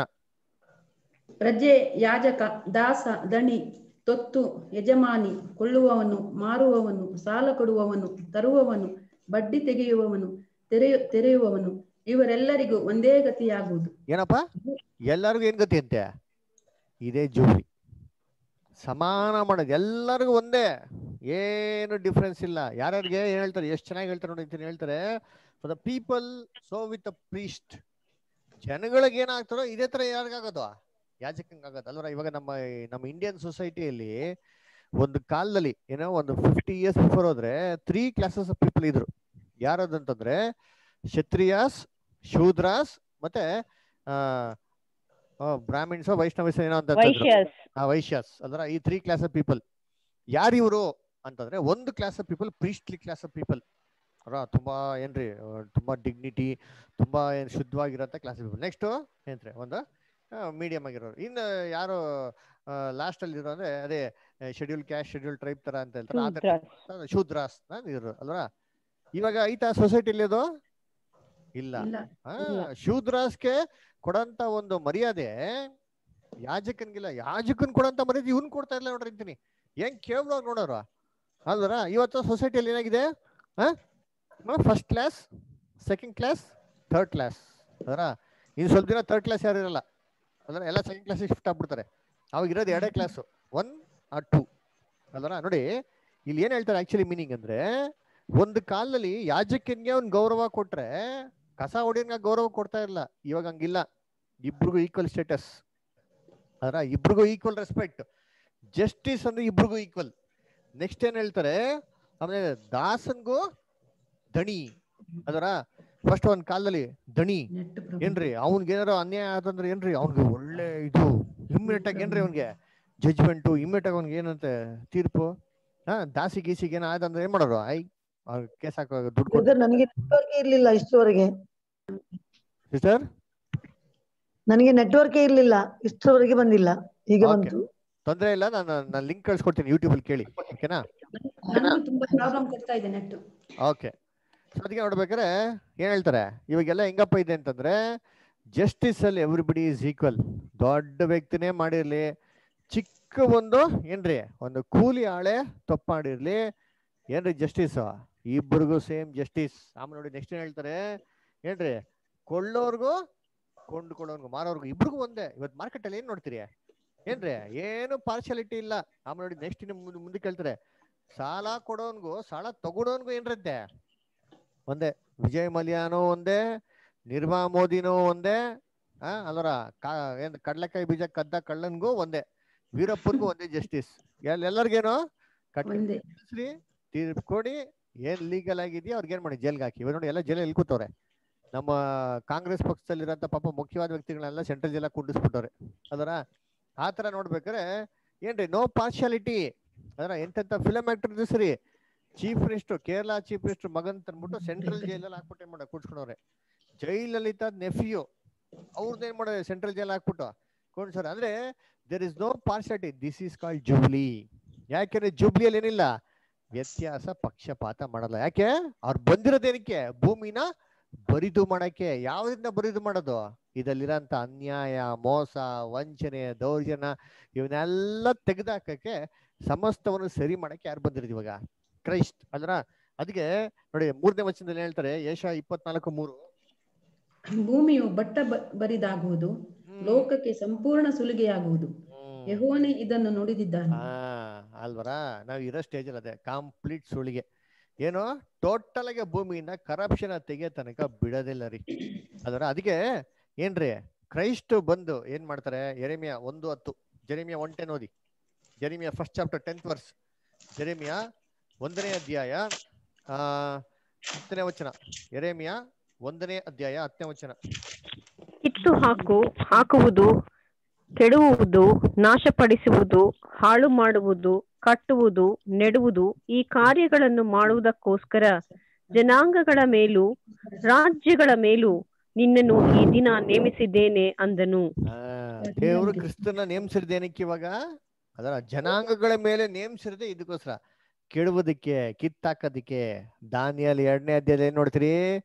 ಕಲ್ಲು ಬಂತ ಏನ್ ಮಾಡ್ತು ಫಸ್ಟು ಪುಡಿ ಪುಡಿ ಮಾಡ್ತು. ಇವಾಗ ಮಾಡ್ತಾ ಇರೋದು ಅದೇ ಕೆಲಸ. ಬಂದು ಪುಡಿ ಪುಡಿ ಪುಡಿ ಪುಡಿ ಮಾಡ್ತಾವ್ರೆ. ಎಲ್ಲಾ ರಾಜ್ಯದ ಬಲಗಳನ್ನ ಏನ್ ಮಾಡ್ತಾರೆ ಮುರ್ದಾಕ್ತಾವ್ರೆ ಇನ್ನ ಏನಾಗ್ಬೇಕು ನೆಕ್ಸ್ಟ್ ಒಟ್ಟಿನಂತೆ ಧೂಳಾಗ್ಬೇಕು. ಜೋರಿಗೆ ಬಿರುಗಾಳಿ ಬಂದು ಏನಾಗ್ಬೇಕು? ಬೀಸ್ಕೊಂಡು ಹೋಗ್ಬೇಕು. ನಾವ್ ಇನ್ನ ಆ ಕಂಡೀಷನ್ಗೆ ಹೋಗಿಲ್ಲ. ಅಲ್ವರ ದೇವ್ರು ನಮಗೋಸ್ಕರ ಕೃಪೆ ನೋಡ್ಸಿದಾರೆ. ಅದರ ದೇವ್ರ ಗಾಳಿ ಬೀಸಿರ್ತಿಲ್ ರೀತಿಯಲ್ಲಿ ಗಾಳಿಗಳು ಏನ್ ಮಾಡೋರೆ ಚತುರ್ದಿಕ್ಕಲ್ಲಿರಂತ ನಾಲ್ಕು ದೂತರುಗಳನ್ನ ಇಟ್ಬಿಟ್ಟು ಗಾಳಿ ಬೀಸಿರ್ತಿಲ್ ಕಾಪಾಡ್ಕೊಂಡಿದ್ದಾರೆ ಪ್ರಕಟಣೆ ಏಳು ಒಂದರಲ್ಲಿ.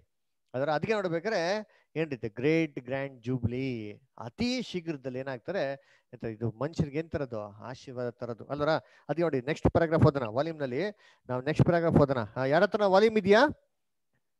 ಅಲ್ಲಿರೋ ಸೋದರ ಸೋದರಿಗಳ ಹತ್ರ ಯಾರ ಹತ್ರ ವಾಲ್ಯೂಮ್ ಇದೆಯಾ? ವಿಜಯ ಸಿಸ್ಟರ್ ನಿಮ್ಮ ಹತ್ರ ಇದೆಯಾ ವಾಲ್ಯೂಮು ಹಾ ಇದೆ ಬ್ರದರ್ ಓದ್ತೀನಿ. ಥ್ಯಾಂಕ್ ಯು ಸ್ಟಾರ್ ಭೂಲೋಕ ಸೃಷ್ಟಿಯ ಉದಯದಲ್ಲಿ ದೇವಕುಮಾರರೆಲ್ಲರೂ ಆನಂದ ಘೋಷ ಮಾಡಿದರು. ಯೋಬ ಮೂವತ್ತೆಂಟು ಏಳು. ನಂತರ ಹಂತ ಹಂತವಾಗಿ ಅದರ ಅಭಿವೃದ್ಧಿಯನ್ನು ಕಂಡ ಮೇಲೆ ಕೊನೆಯಲ್ಲಿ ಅದರ ರಾಜನಾದ ಮನುಷ್ಯನು ದೇವರ ಸ್ವರೂಪದಲ್ಲಿ ಉಂಟು ಮಾಡಲ್ಪಟ್ಟನು. ನಂತರ ಅವಿಧೇಯತೆಯಿಂದ ಪಾಪ ಮತ್ತು ಅವಸಾನ. ತಮ್ಮ ಮೂಲ ಸ್ವಾಸ್ಥ್ಯವನ್ನು ಕಾಪಾಡಿಕೊಳ್ಳದೆ ಬಿದ್ದು ಹೋದ ದೇವದೂತರುಗಳ ಭಯಾನಕ ಅನುಭವಗಳು. ಪಾಪ ಮತ್ತು ಮರಣ ಆಳ್ವಿಕೆಯಲ್ಲಿ ಮಾನವರ ಸ್ವಾರ್ಥ ಮತ್ತು ರಕ್ತಮಯ ಚರಿತ್ರೆ ಇವುಗಳು ಬರುತ್ತವೆ. ನಂತರ ಜಯಪ್ರದವಾಗಿ ವಿಮೋಚನಾ ಕಾರ್ಯವು ಯಜ್ಞದ ಮೂಲಕ ಅಭಿಷಿಕ್ತನ ಆಯ್ಕೆ ಶಿರಸ್ಸು ಮತ್ತು ದೇಹ ಮತ್ತು ಮೆಸ್ಸಿಯನ ಆಳ್ವಿಕೆ ಮತ್ತು ಆತನ ಮೂಲಕ ಲೋಕಾರಂಭದಿಂದ ತನ್ನ ವಾಕ್ಯಗಳಲ್ಲಿ ಹಾಗೂ ಪ್ರವಾದಿಗಳ ಮೂಲಕ ಮುಂತಿಳಿಸಿದಂತೆ ಎಲ್ಲಾ ಸಂಗತಿಗಳನ್ನು ಅದ್ಭುತ ರೀತಿಯಲ್ಲಿ ಪುನರ್ವಶ ಪಡಿಸಲಾಗುವುದು ಯಹೋವನ ಎಲ್ಲಾ ಬುದ್ಧಿಜೀವಿಗಳು ದೇವರ ಪ್ರೀತಿಯನ್ನು ಮಾತ್ರವಲ್ಲದೆ ಆತನ ನ್ಯಾಯ ಜ್ಞಾನ ಮತ್ತು ಶಕ್ತಿಯ ಉದ್ದ ಅಗಲ ಮತ್ತು ಎತ್ತರಗಳನ್ನು ಕಂಡುಕೊಳ್ಳುವಾಗ ಭೂಪರಲೋಕಗಳಲ್ಲಿ ಸಂಭ್ರಮ. ಸಡಗರಗಳುಂಟಾಗುವುದರಲ್ಲಿ ಆಶ್ಚರ್ಯವಿಲ್ಲ. ಖಂಡಿತವಾಗಿ ಭೂಲೋಕ ಪರಲೋಕಗಳಲ್ಲಿರುವ ದೇವರ ಎಲ್ಲಾ ಸೃಷ್ಟಿಗಳು ಆಗ ನೂತನ ಸಂಗೀತವೊಂದನ್ನು ಹೀಗೆ ಹಾಡುವರು. ಓದ್ಲ ಬ್ರದರ್ ಇದನ್ನ? ಓದ್ಬಿಡಿ ಓದ್ಬಿಡಿ. ದೇವರಾದ ಕರ್ತನೆ ಸರ್ವಶಕ್ತನೇ ನಿನ್ನ ಕೃತ್ಯಗಳು ಮಹತ್ತಾದವುಗಳು, ಆಶ್ಚರ್ಯಕರವಾದವುಗಳು ಆಗಿವೆ. ಕರ್ತನೆ, ನಿನ್ನ ನಾಮಕ್ಕೆ ಭಯಪಡದವರು ಅದನ್ನು ಘನ, ಘನವಾದುದೆಂದು ಒಪ್ಪಿಕೊಳ್ಳದವರು ಯಾರಾದರೂ ಇದ್ದಾರೋ? ನೀನೊಬ್ಬನೇ ಪರಿಶುದ್ಧನು. ನಿನ್ನ ನೀತಿಯುಳ್ಳ ಕೃತ್ಯಗಳು ಪ್ರಕಾಶಕ್ಕೆ ಬಂದದ್ದರಿಂದ ಎಲ್ಲಾ ಜನಾಂಗಗಳು ಬಂದು ನಿನ್ನ ಸನ್ನಿಧಾನದಲ್ಲಿ ನಮಸ್ಕಾರ ಮಾಡುವರು. ಪ್ರಕಟಣೆ ಹದಿನೈದು, ಮೂರರಿಂದ ನಾಲ್ಕು. ಆಕಾಶ ಮಂಡಲವನ್ನು ಸೃಷ್ಟಿಸಿದ ಯಹೋವನ ಮಾತನ್ನು ಕೇಳಿರಿ. ಆತನೇ ದೇವರು ಭೂಲೋಕವನ್ನು ನಿರ್ಮಿಸಿ ರೂಪಿಸಿ ಸ್ಥಾಪಿಸಿದನು. ಅದನ್ನು ಶೂನ್ಯ ಸ್ಥಾನವಾಗಿರಲೆಂದು ಸೃಷ್ಟಿಸದೆ ಜನನಿವಾಸಕ್ಕಾಗಿಯೇ ರೂಪಿಸಿದನು. ಯಶಯ ನಲವತ್ತೈದು ಹದಿನೆಂಟು. ಇದಲ್ಲದೆ ಆಕಾಶದಲ್ಲಿಯೂ ಭೂಮಿಯ ಮೇಲೆಯೂ, ಭೂಮಿಯ ಕೆಳಗೆ, ಕೆಳಗೂ ಸಮುದ್ರದ ಮೇಲೆಯೂ ಇರುವ ಎಲ್ಲಾ ಸೃಷ್ಟಿಗಳು ಅಂದರೆ ಭೂಮ್ಯಾಕಾಶ ಸಮುದ್ರದೊಳಗೆ ಇರುವುದೆಲ್ಲವೂ ಸಿಂಹಾಸನಾಸೀನನಿಗೂ, ಯಜ್ಞದ ಕುರಿಯಾದಾತನಿಗೂ ಸ್ತೋತ್ರ. ಮಾನ ಪ್ರಭಾವಗಳು ಯುಗ ಯುಗಾಂತರಗಳಲ್ಲಿ ಇರಲಿ ಎಂದು ಹೇಳುವುದನ್ನು ಕೇಳಿದೆನು. ಪ್ರಕಟಣೆ ಹದಿನೈದು ಮೂರು. ಈ ಮೇಲಿನ, ಈ ಮೇಲಿನವುಗಳನ್ನು ಬರೆ, ಬರೆದಾಗಿನಿಂದ professor G. Frederick Wright, DD D ಯಾವ ಲೇಖನಿಯಿಂದ ಆದಿಕಾಂಡದ ಸೃಷ್ಟಿ ವಿವರಣೆಗಳ ಬಗ್ಗೆ ದಿನಾಂಕ ಹತ್ತೊಂಬತ್ತನೇ ನವೆಂಬರ್ ಸಾವಿರದ ಒಂಬೈನೂರ ಎರಡರಂದು ಬರೆದ ಈ ಮುಂದಿನ ಪ್ರಸ್ತಾವನೆಗಳನ್ನು ಸಹ ನಾವು ನೋಡಬಹುದಾಗಿದೆ. Okay sir thank you so ಅದಕ್ಕೆ ನೋಡ್ಬೇಕಾರೆ ಏನ್ರಿ ಅದಕ್ಕೆ ದೇವರ ಯೋಜನೆ, ಅದರ ಏನ್ರಿ, ಭೂಮಿನ ಅಸ್ಥಿ ಬರ ಹಾಕ್ಬೇಕಾರೆ ದೇವರು ಮತ್ತೆ ದೇವ ದೂತರುಗಳೆಲ್ಲರೂ ಏನ್ ಮಾಡೋದಂತೆ ಅಲ್ಲಿ? ಅಲ್ಲಿ ಹರ್ಷಧ್ವನಿಯಿಂದ, ಸಂತೋಷದಿಂದ, ಉಲ್ಲಾಸವಾಗಿ ಮಾಡುತ್ತೆ ಅಲ್ಲೋ ಹಾಡಾಡಿದ್ರು ಅಂತ ನಾವು ನೋಡ್ತೀರಿ, ಅಲ್ವರ? ಅದಕ್ಕೆ ನಾವು ಯೋಬು ಮೂವತ್ತೆಂಟು ಏಳಲ್ಲಿ ನೋಡ್ಬೇಕಾರೆ ಏನ್ ನೋಡ್ತೀರಿ? ಆ ಮುಂಜಾನೆಯ ನಕ್ಷತ್ರಗಳು ಅಂದ್ರ ದೇವ ದೂತರ ಸಂಗಡ ಭೂಮಿಗೆ ಫೌಂಡೇಶನ್ ಹಾಕ್ಬೇಕಾರೆ ಏನ್ ಮಾಡಿದ್ರು? ಸಂತೋಷದಿಂದ ಉಲ್ಲಾಸವಾಗಿದ್ರು ಅಂತ ಹೇಳ್ತೀರಿ. ಅದರ ಓದನ ಅದನ್ನ ಭೂಲೋಕದ ಸುಣ್ಣ ಪದಗಳನ್ನು ಭೂಲೋಕದ ಸುಣ್ಣ ಪದಗಳನ್ನು ಸುಣ್ಣ ಮೂವತ್ತೆಂಟು ಏಳು. ಭೂಲೋಕದ ಸುಣ್ಣ ಪದಗಳು ಯಾವುದರಲ್ಲಿ ನೆಲೆಗೊಂಡವು. ಅದರ ಮೂಲೆಗಳನ್ನು ಹಾಕಿದ್ದವರು ಯಾರು? ಸಮುದ್ರವು ಗರ್ಭವನ್ನು ಬೇಡಿಸಿಕೊಂಡು ಬರಲು. ಅದರ ಓಕೆ, ಸೊ ಅದಕ್ಕೆ ಏನ್ರಿ, ಕನ್ನಡದಲ್ಲಿ ಆರನೇ ವಚನದಲ್ಲಿ ಬರ್ತದರ ಸೊ ಮುಂಜಾನೆ ನಕ್ಷತ್ರಗಳು ಎಲ್ಲಾ ದೂತರುಗಳ ಸಂಗಡ ಏನ್ ಮಾಡುತ್ತೆ? ಅದೇ ಕೊಂಡಾಡಿದ್ರು ಅಲ್ವರ? ಸೊ ಅದಕ್ಕೆ ನೋಡ್ಬೇಕಾರೆ ಅಲ್ಲಿಂದ ದೇವ್ರ ಏನ್ ಮಾಡಿದ್ರು ಅಂದ್ರೆ ನೆಕ್ಸ್ಟ್ ಭೂಮಿಯ ಒಂದು ಎಲ್ಲ ಒಂದು ಸೃಷ್ಟಿನ ಮನುಷ್ಯನಿಗೆ ಪರಿಪೂರ್ಣವಾಗಿ ಸೃಷ್ಟಿ ಮಾಡಿ ಭೂಮಿಯ ಒಂದು ದೊರೆತನ ಕೊಟ್ಟು ಅವನು ಪಾಪ ಮಾಡಿ ಮೇಲೆ ಕೂಡ ಅವನ ದೇವ್ರ ಕೈ ಬಿಡಿದಿರ? ಏನ್ ಮಾಡಿದ್ರಂತೆ ಅವನಿಗೆ? ಎಷ್ಟೋ ರೀತಿಯಲ್ಲಿ ಆಶ್ವಾಸನೆಗಳು ಕೊಟ್ಟು ಪ್ರವಾದಿಗಳ ಮುಖಾಂತರ ಇಸ್ರೇಲ್ ನಡೆದಂತ ಒಂದು ಘಟನೆಗಳ ಮುಖಾಂತರ ಎಲ್ಲಾ ರೀತಿ ಅವ್ನಿಗೆ ಏನ್ ಮಾಡಿ ಕೃಪೆ ಕೊಟ್ಟು ಎಲ್ಲಾ ರೀತಿಯಲ್ಲಿ ದೇವ್ರು ಏನ್ ಮಾಡೋದು ಅಂತಂದ್ರೆ ಒಂದು ಕಾಲದಲ್ಲಿ ಮನುಷ್ಯನ್ಗೆ ಏನ್ ಮಾಡ್ತಾರೆ ದೇವ್ರು ಒಳ್ಳೇದೇ ಮಾಡ್ತಾರೆ ಅಂತ ಅಂದ್ಬಿಟ್ಟು ಏನ್ ಮಾಡೋದು ದೇವರು? ಎಷ್ಟೋ ರೀತಿಯಲ್ಲಿ ಮಾಡೋದು ದೇವ್ರ ಮನುಷ್ಯನ್ಗೆ? ಅಲ್ಲಿ ನೋಟ್ಸ್ ಕೊಟ್ರೆ ನೋಡ್ತೀರಿ. ಅದರ ಸದ್ಯ ನೋಡ್ಬೇಕ್ರೆ ಏನ್ರಿ?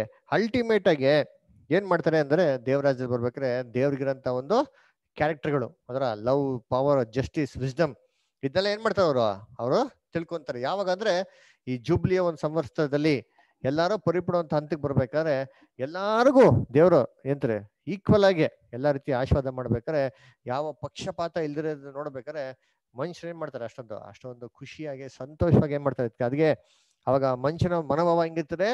ಅದನ್ನೇ ನಾವು ಓದಿದಂತ ವಚನಗಳು ಯಾವುದು? ಪ್ರಕಟಣೆ ಹದಿನೈದು, ಮೂರಿಂದ ನಾಲ್ಕು. ಅದರ ಆಮೇಲೆ ಪ್ರಕಟಣೆ ಐದನೇ ಅಧ್ಯಾಯ ಹದಿಮೂರನೇ ವಚನ, ಏಷ್ಯಾ ನಲವತ್ತೈದು ಹದಿನೆಂಟು. ಇವೆಲ್ಲ ವಚನಗಳು ಏನು ನೋಡ್ತಿದ್ರೆ ಆ, ಮನುಷ್ಯನ ಎಕ್ಸ್ಪ್ರೆಷನ್ ಅದರ ಅಂತ್ಯದಲ್ಲಿ ದೇವ್ರು ಕೊಡ್ಬೇಕಾರೆ ಅದನ್ನ ಏನ್ ಮಾಡ್ತಾರೆ, ಮನುಷ್ಯ ಒಂದು ಒಂದು ಒಳ್ಳೆ ರೀತಿಯಲ್ಲಿ ಏನ್ ಮಾಡ್ತಾರೆ, ಅದನ್ನ ಸ್ವೀಕಾರ ಮಾಡ್ಕೊಂಡು ದೇವ್ರಿಗೆ ಮಾಡ್ತಾನೆ, ಕೃತಜ್ಞತ ಉಳ್ಳನಾಗ್ತಾನೆ ಅಂತ ಅಲ್ಲರ ಅದಕ್ಕೆ ಈ ಈ ಒಂದು ಏನಂತಾರೆ ರೈಟಿಂಗ್ಸ್ ಈ ಒಂದು ಬಿಬ್ಲಿಕಲ್ ರೈಟಿಂಗ್ಸ್ ಯಾವ್ದ್ರ ಬಗ್ಗೆ? ಕ್ರಿಸ್ತನ ರಾಜ್ಯದ ಬಗ್ಗೆ ಇರುವಂತ ಒಂದು ಅಂಶಗಳನ್ನ ಅನೇಕ ಒಂದು ಪ್ರೊಫೆಸರ್ಗಳು ಆ ಕಾಲದಲ್ಲಿ ಬರ್ದಿರಂತ ಕೆಲವೊಂದು ಪ್ರೂಫ್ಸ್ ಏನ್ ಮಾಡ್ತಾರೆ ಬ್ರದರ್ ರಸಲ್? ಅವ್ರು ಕೊಡ್ತಾರೆ. ಏನಕ್ಕಾಗಿ ಇದನ್ನ ಬರೀತಾರೆ ಬ್ರದರ್ ರಸಲ್ ಅಂತಂದ್ರೆ ಅನೇಕ ಪ್ರೂಫ್ಗಳು ಏನ್ ಕೊಡ್ತಾರೆ ಅಂತಂದ್ರೆ ಏನ್ರಿ? ಇದು ಸತ್ಯವೇದಲ್ಲಿ ಹೇಳಿರೋಂತ ಒಂದು ವಿಚಾರಗಳ ಅನೇಕ ದೊಡ್ಡ ದೊಡ್ಡ ಸೈಂಟಿಸ್ಟ್ಗಳು ಕೂಡ ಏನ್ ಮಾಡಿದ್ದಾರೆ? ಅದನ್ನ ಅಕ್ಸೆಪ್ಟ್ ಮಾಡೋಂಥ ರೀತಿಯಲ್ಲಿ ಏನಾಗಿದೆ? ಅದು ಇದೆ ಅಂತ ಅಂದ್ರೆ ನಾವು ಎಕ್ಸಾಂಪಲ್ ನೋಡ್ಬೇಕಾದ್ರೆ ಆ ನಾವೇನ್ ನೋಡ್ತೀವಿ ಆಲ್ಬರ್ಟ್ ಐನ್ಸ್ಟೈನ್. ಅದನ್ನ ಆಮ್ ನೆಕ್ಸ್ಟ್ ಏನ್ರಿ? ಆ ಬಲ್ಬ್ನ ಆ Thomas Thomas Alva Edison very good Thomas Alva Edison ಇವರೆಲ್ಲ ನೋಡ್ಬೇಕಾದ್ರೆ ಆಮೇಲೆ ಐಸಾಕ್ ನ್ಯೂಟನ್ ದೇ, ಅವರೆಲ್ಲ ಬಂದ್ಬಿಟ್ಟು ದೇವ್ರ ಮೇಲೆ ವಿಶ್ವಾಸ ಉಳ್ಳಂತ ಏನ್ರಿ? ಅವರೆಲ್ಲ ಬೈಬಲ್ ಸ್ಟೂಡೆಂಟ್ಸ್ ನೀವು ನೋಡ್ಬೇಕಾಗುತ್ತಾ ಅವರೆಲ್ಲ ದೇವ್ರ ಮೇಲೆ ಏನಿತ್ತು ಅವ್ರಿಗೆಲ್ಲ? ವಿಶ್ವಾಸ ಇತ್ತು. ಐಸಾಕ್ ನ್ಯೂಟನ್ ಬೈಬಲ್ ಏನ್ ಮಾಡ್ತಾರೆ? ಸ್ಟಡಿ ಮಾಡ್ತಾರೆ. ಸೆಕೆಂಡ್ ಕಮಿಂಗ್ ಬಗ್ಗೆ ಸ್ಟಡಿ ಮಾಡಿರೋ ಒನ್ ಆಫ್ ದ ಪರ್ಸನಾಲಿಟಿ ಯಾರು ಅಂದ್ರೆ ಐಸಾಕ್ ನ್ಯೂಟನ್ ಆಮೇಲೆ ಏನ್ರಿ? ಥಾಮಸ್ ಆಲ್ವಾ ಎಡಿಸನ್ ಅವರು ಇಷ್ಟೊಂದೆಲ್ಲ ಕಂಡಿಡಿತಾರೆ ಇಷ್ಟೊಂದೆಲ್ಲ ಕಂಡಿಡಿದ್ರು ಸರಿ, ಇದು ಎಲ್ಲದಕ್ಕೂ ಹಿಂದೆ ಒಬ್ಬ ಸೃಷ್ಟಿಕರ್ತ ಇದ್ದಾನೆ. ಆ ಸೃಷ್ಟಿಕರ್ತನ ಯೋಜನೆ ಇಲ್ದ್ರೆ ನಾವ್ ಇದನ್ನ ತಿಳ್ಕೊಳಕ್ಕೂ ಸಾಧ್ಯ ಆಗ್ತಾ ಇರಲ್ಲ ಅಂತ ಹೇಳ್ಬಿಡ್ತಾರೆ ಅಕ್ನಾಲೇಜ್ ಮಾಡ್ತಾರೆ. ಅದರ ಸೊ ಇದೆಲ್ಲ ಏನಪ್ಪಾ ಅಂದ್ರೆ ಪ್ರೂಫ್ ಅಂತಂದ್ರೆ ಎಷ್ಟೋ ಜನಗಳು ಸೈಂಟಿಸ್ಟ್ಗಳು ದೇವರು ಒಬ್ರು ಇದ್ದಾರೆ ಅಂತಂದ್ಬಿಟ್ಟು ದಾಖಲಾತಿಗಳು ಕೊಡ್ತಾರೆ. ಅದೇ ತರ ಬ್ರದರ್ ರಸಲ್ ಮಾಡಿದ್ರೆ ಅನೇಕ ಒಂದು ಸೈಂಟಿಸ್ಟ್ಗಳದ್ದು ಒಂದು ಪ್ರೊಫೆಸರ್ಗಳದ್ದು ಮಾತುಗಳನ್ನ ಮಾಡ್ತಾರೆ ನಮ್ಗೆ. ನಮ್ಗೆ ಪ್ರೂಫ್ ಆಗಿ ಕೊಡ್ತಾರೆ. ಅದರ ಇದು ಜಸ್ಟ್ ಒಂದು ಇನ್ಫಾರ್ಮೇಶನ್ ತರ ನಾವು ಅದನ್ನ ಓದೋಣ ಅಂತ ನೋಡಿ. ನೆಕ್ಸ್ಟ್ ಒಂದು ಪ್ಯಾರಾಗ್ರಾಫ್ ಓದೋಣ ಅದನ್ನ ಏನಂತ ಕೊಡ್ತಾರೆ ಅಂತ. ಆ ಯಾರು ಓದ್ತೀರಾ? ಯಾರು ವಿದ್ಯಾ ವಾಲ್ಯೂಮ್ ಯಾವ ತರ ಪೂರ್ಣಿಮಾ ಸಿಸ್ಟರ್ ನಿಮ್ಮ ಹತ್ರ ವಾಲ್ಯೂಮ್ ಇದೆಯಾ ಬ್ರದರ್ ಇಲ್ಲ ಬ್ರದರ್ ನನ್ನ ಹತ್ರ ಓಕೆ ವೀರಭದ್ರ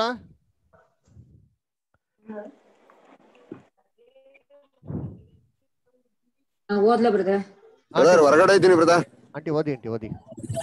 ಆದಿಕಾಂಡದ ದಾಖಲೆ. ದ ಜೆನಿಸಿಸ್ ರೆಕಾರ್ಡ್ ದ ಈ ಈ ಲೋಕ ಸೃಷ್ಟಿಯ ಬಗ್ಗೆ ಬರೆದ ಆದಿಕಾಂಡದ ಮೊದಲನೇ ಅಧ್ಯಾಯವು ಒಂದು ಅಸಾಮಾನ್ಯ ದಾಖಲೆಯಾಗಿದೆ.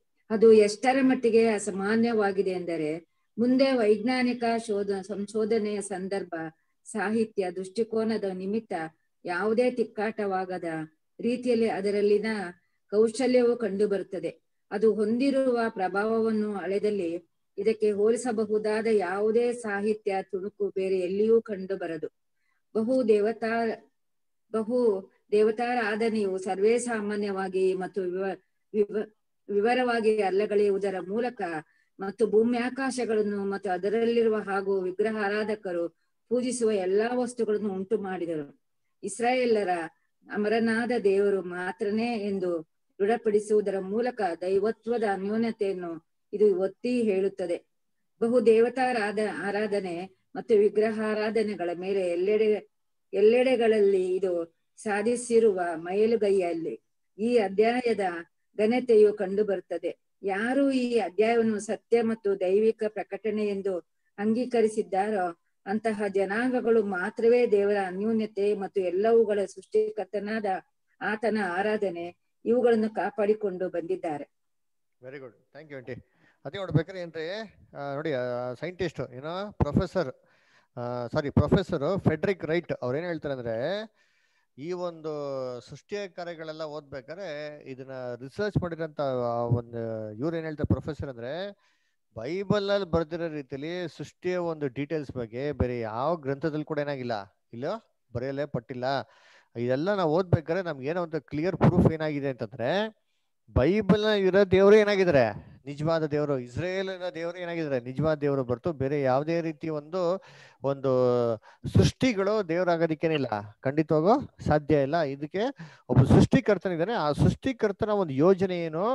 ಆ ಸೃಷ್ಟಿಕರ್ತನ ಹೆಂಗೆ ಇದೆಲ್ಲ ಕ್ರಮಕ್ಕೆ ತಂದ ಅಂತ ಅಂದ್ಬಿಟ್ಟು ಇದು ಬೈಬಲ್ ನಮ್ಗೆ ಏನ್ ಮಾಡ್ತಾರೆ ತುಂಬಾ ಒಂದು ಕ್ಲಿಯರ್ ಆಗಿ ಕೊಡ್ತಾರೆ ಅಂತ ಇನ್ಫಾರ್ಮೇಶನ್ ಹೇಳ್ತಾರೆ. ಅದಕ್ಕೆ ನೋಡಿ ಇವಾಗ ನಾವು ಸೈಂಟಿಸ್ಟ್ ಏನಂತ ಕಂಡಿಡಿದರೆ ಈ ಭೂಮಿ ಅದರ ವಾಯುಮಂಡಲದಲ್ಲಿ ಹಂಗೆ ಏನಾಗಿದೆ, ನಿಂತಿದೆ ಅಂತ ಅಂದ್ಬಿಟ್ಟು ಸೈಂಟಿಸ್ಟ್ ಏನ್ ಮಾಡಾರೆ ಇವು ಯೂನಿವರ್ಸು ಈ ಸೋಲಾರ್ ಸಿಸ್ಟಮ್ ಅಂತೆಲ್ಲ ಕಂಡುಹಿಡಿಬೇಕಾದ್ರೆ ಕಂಡುಹಿಡಿದಿದ್ದಾರೆ.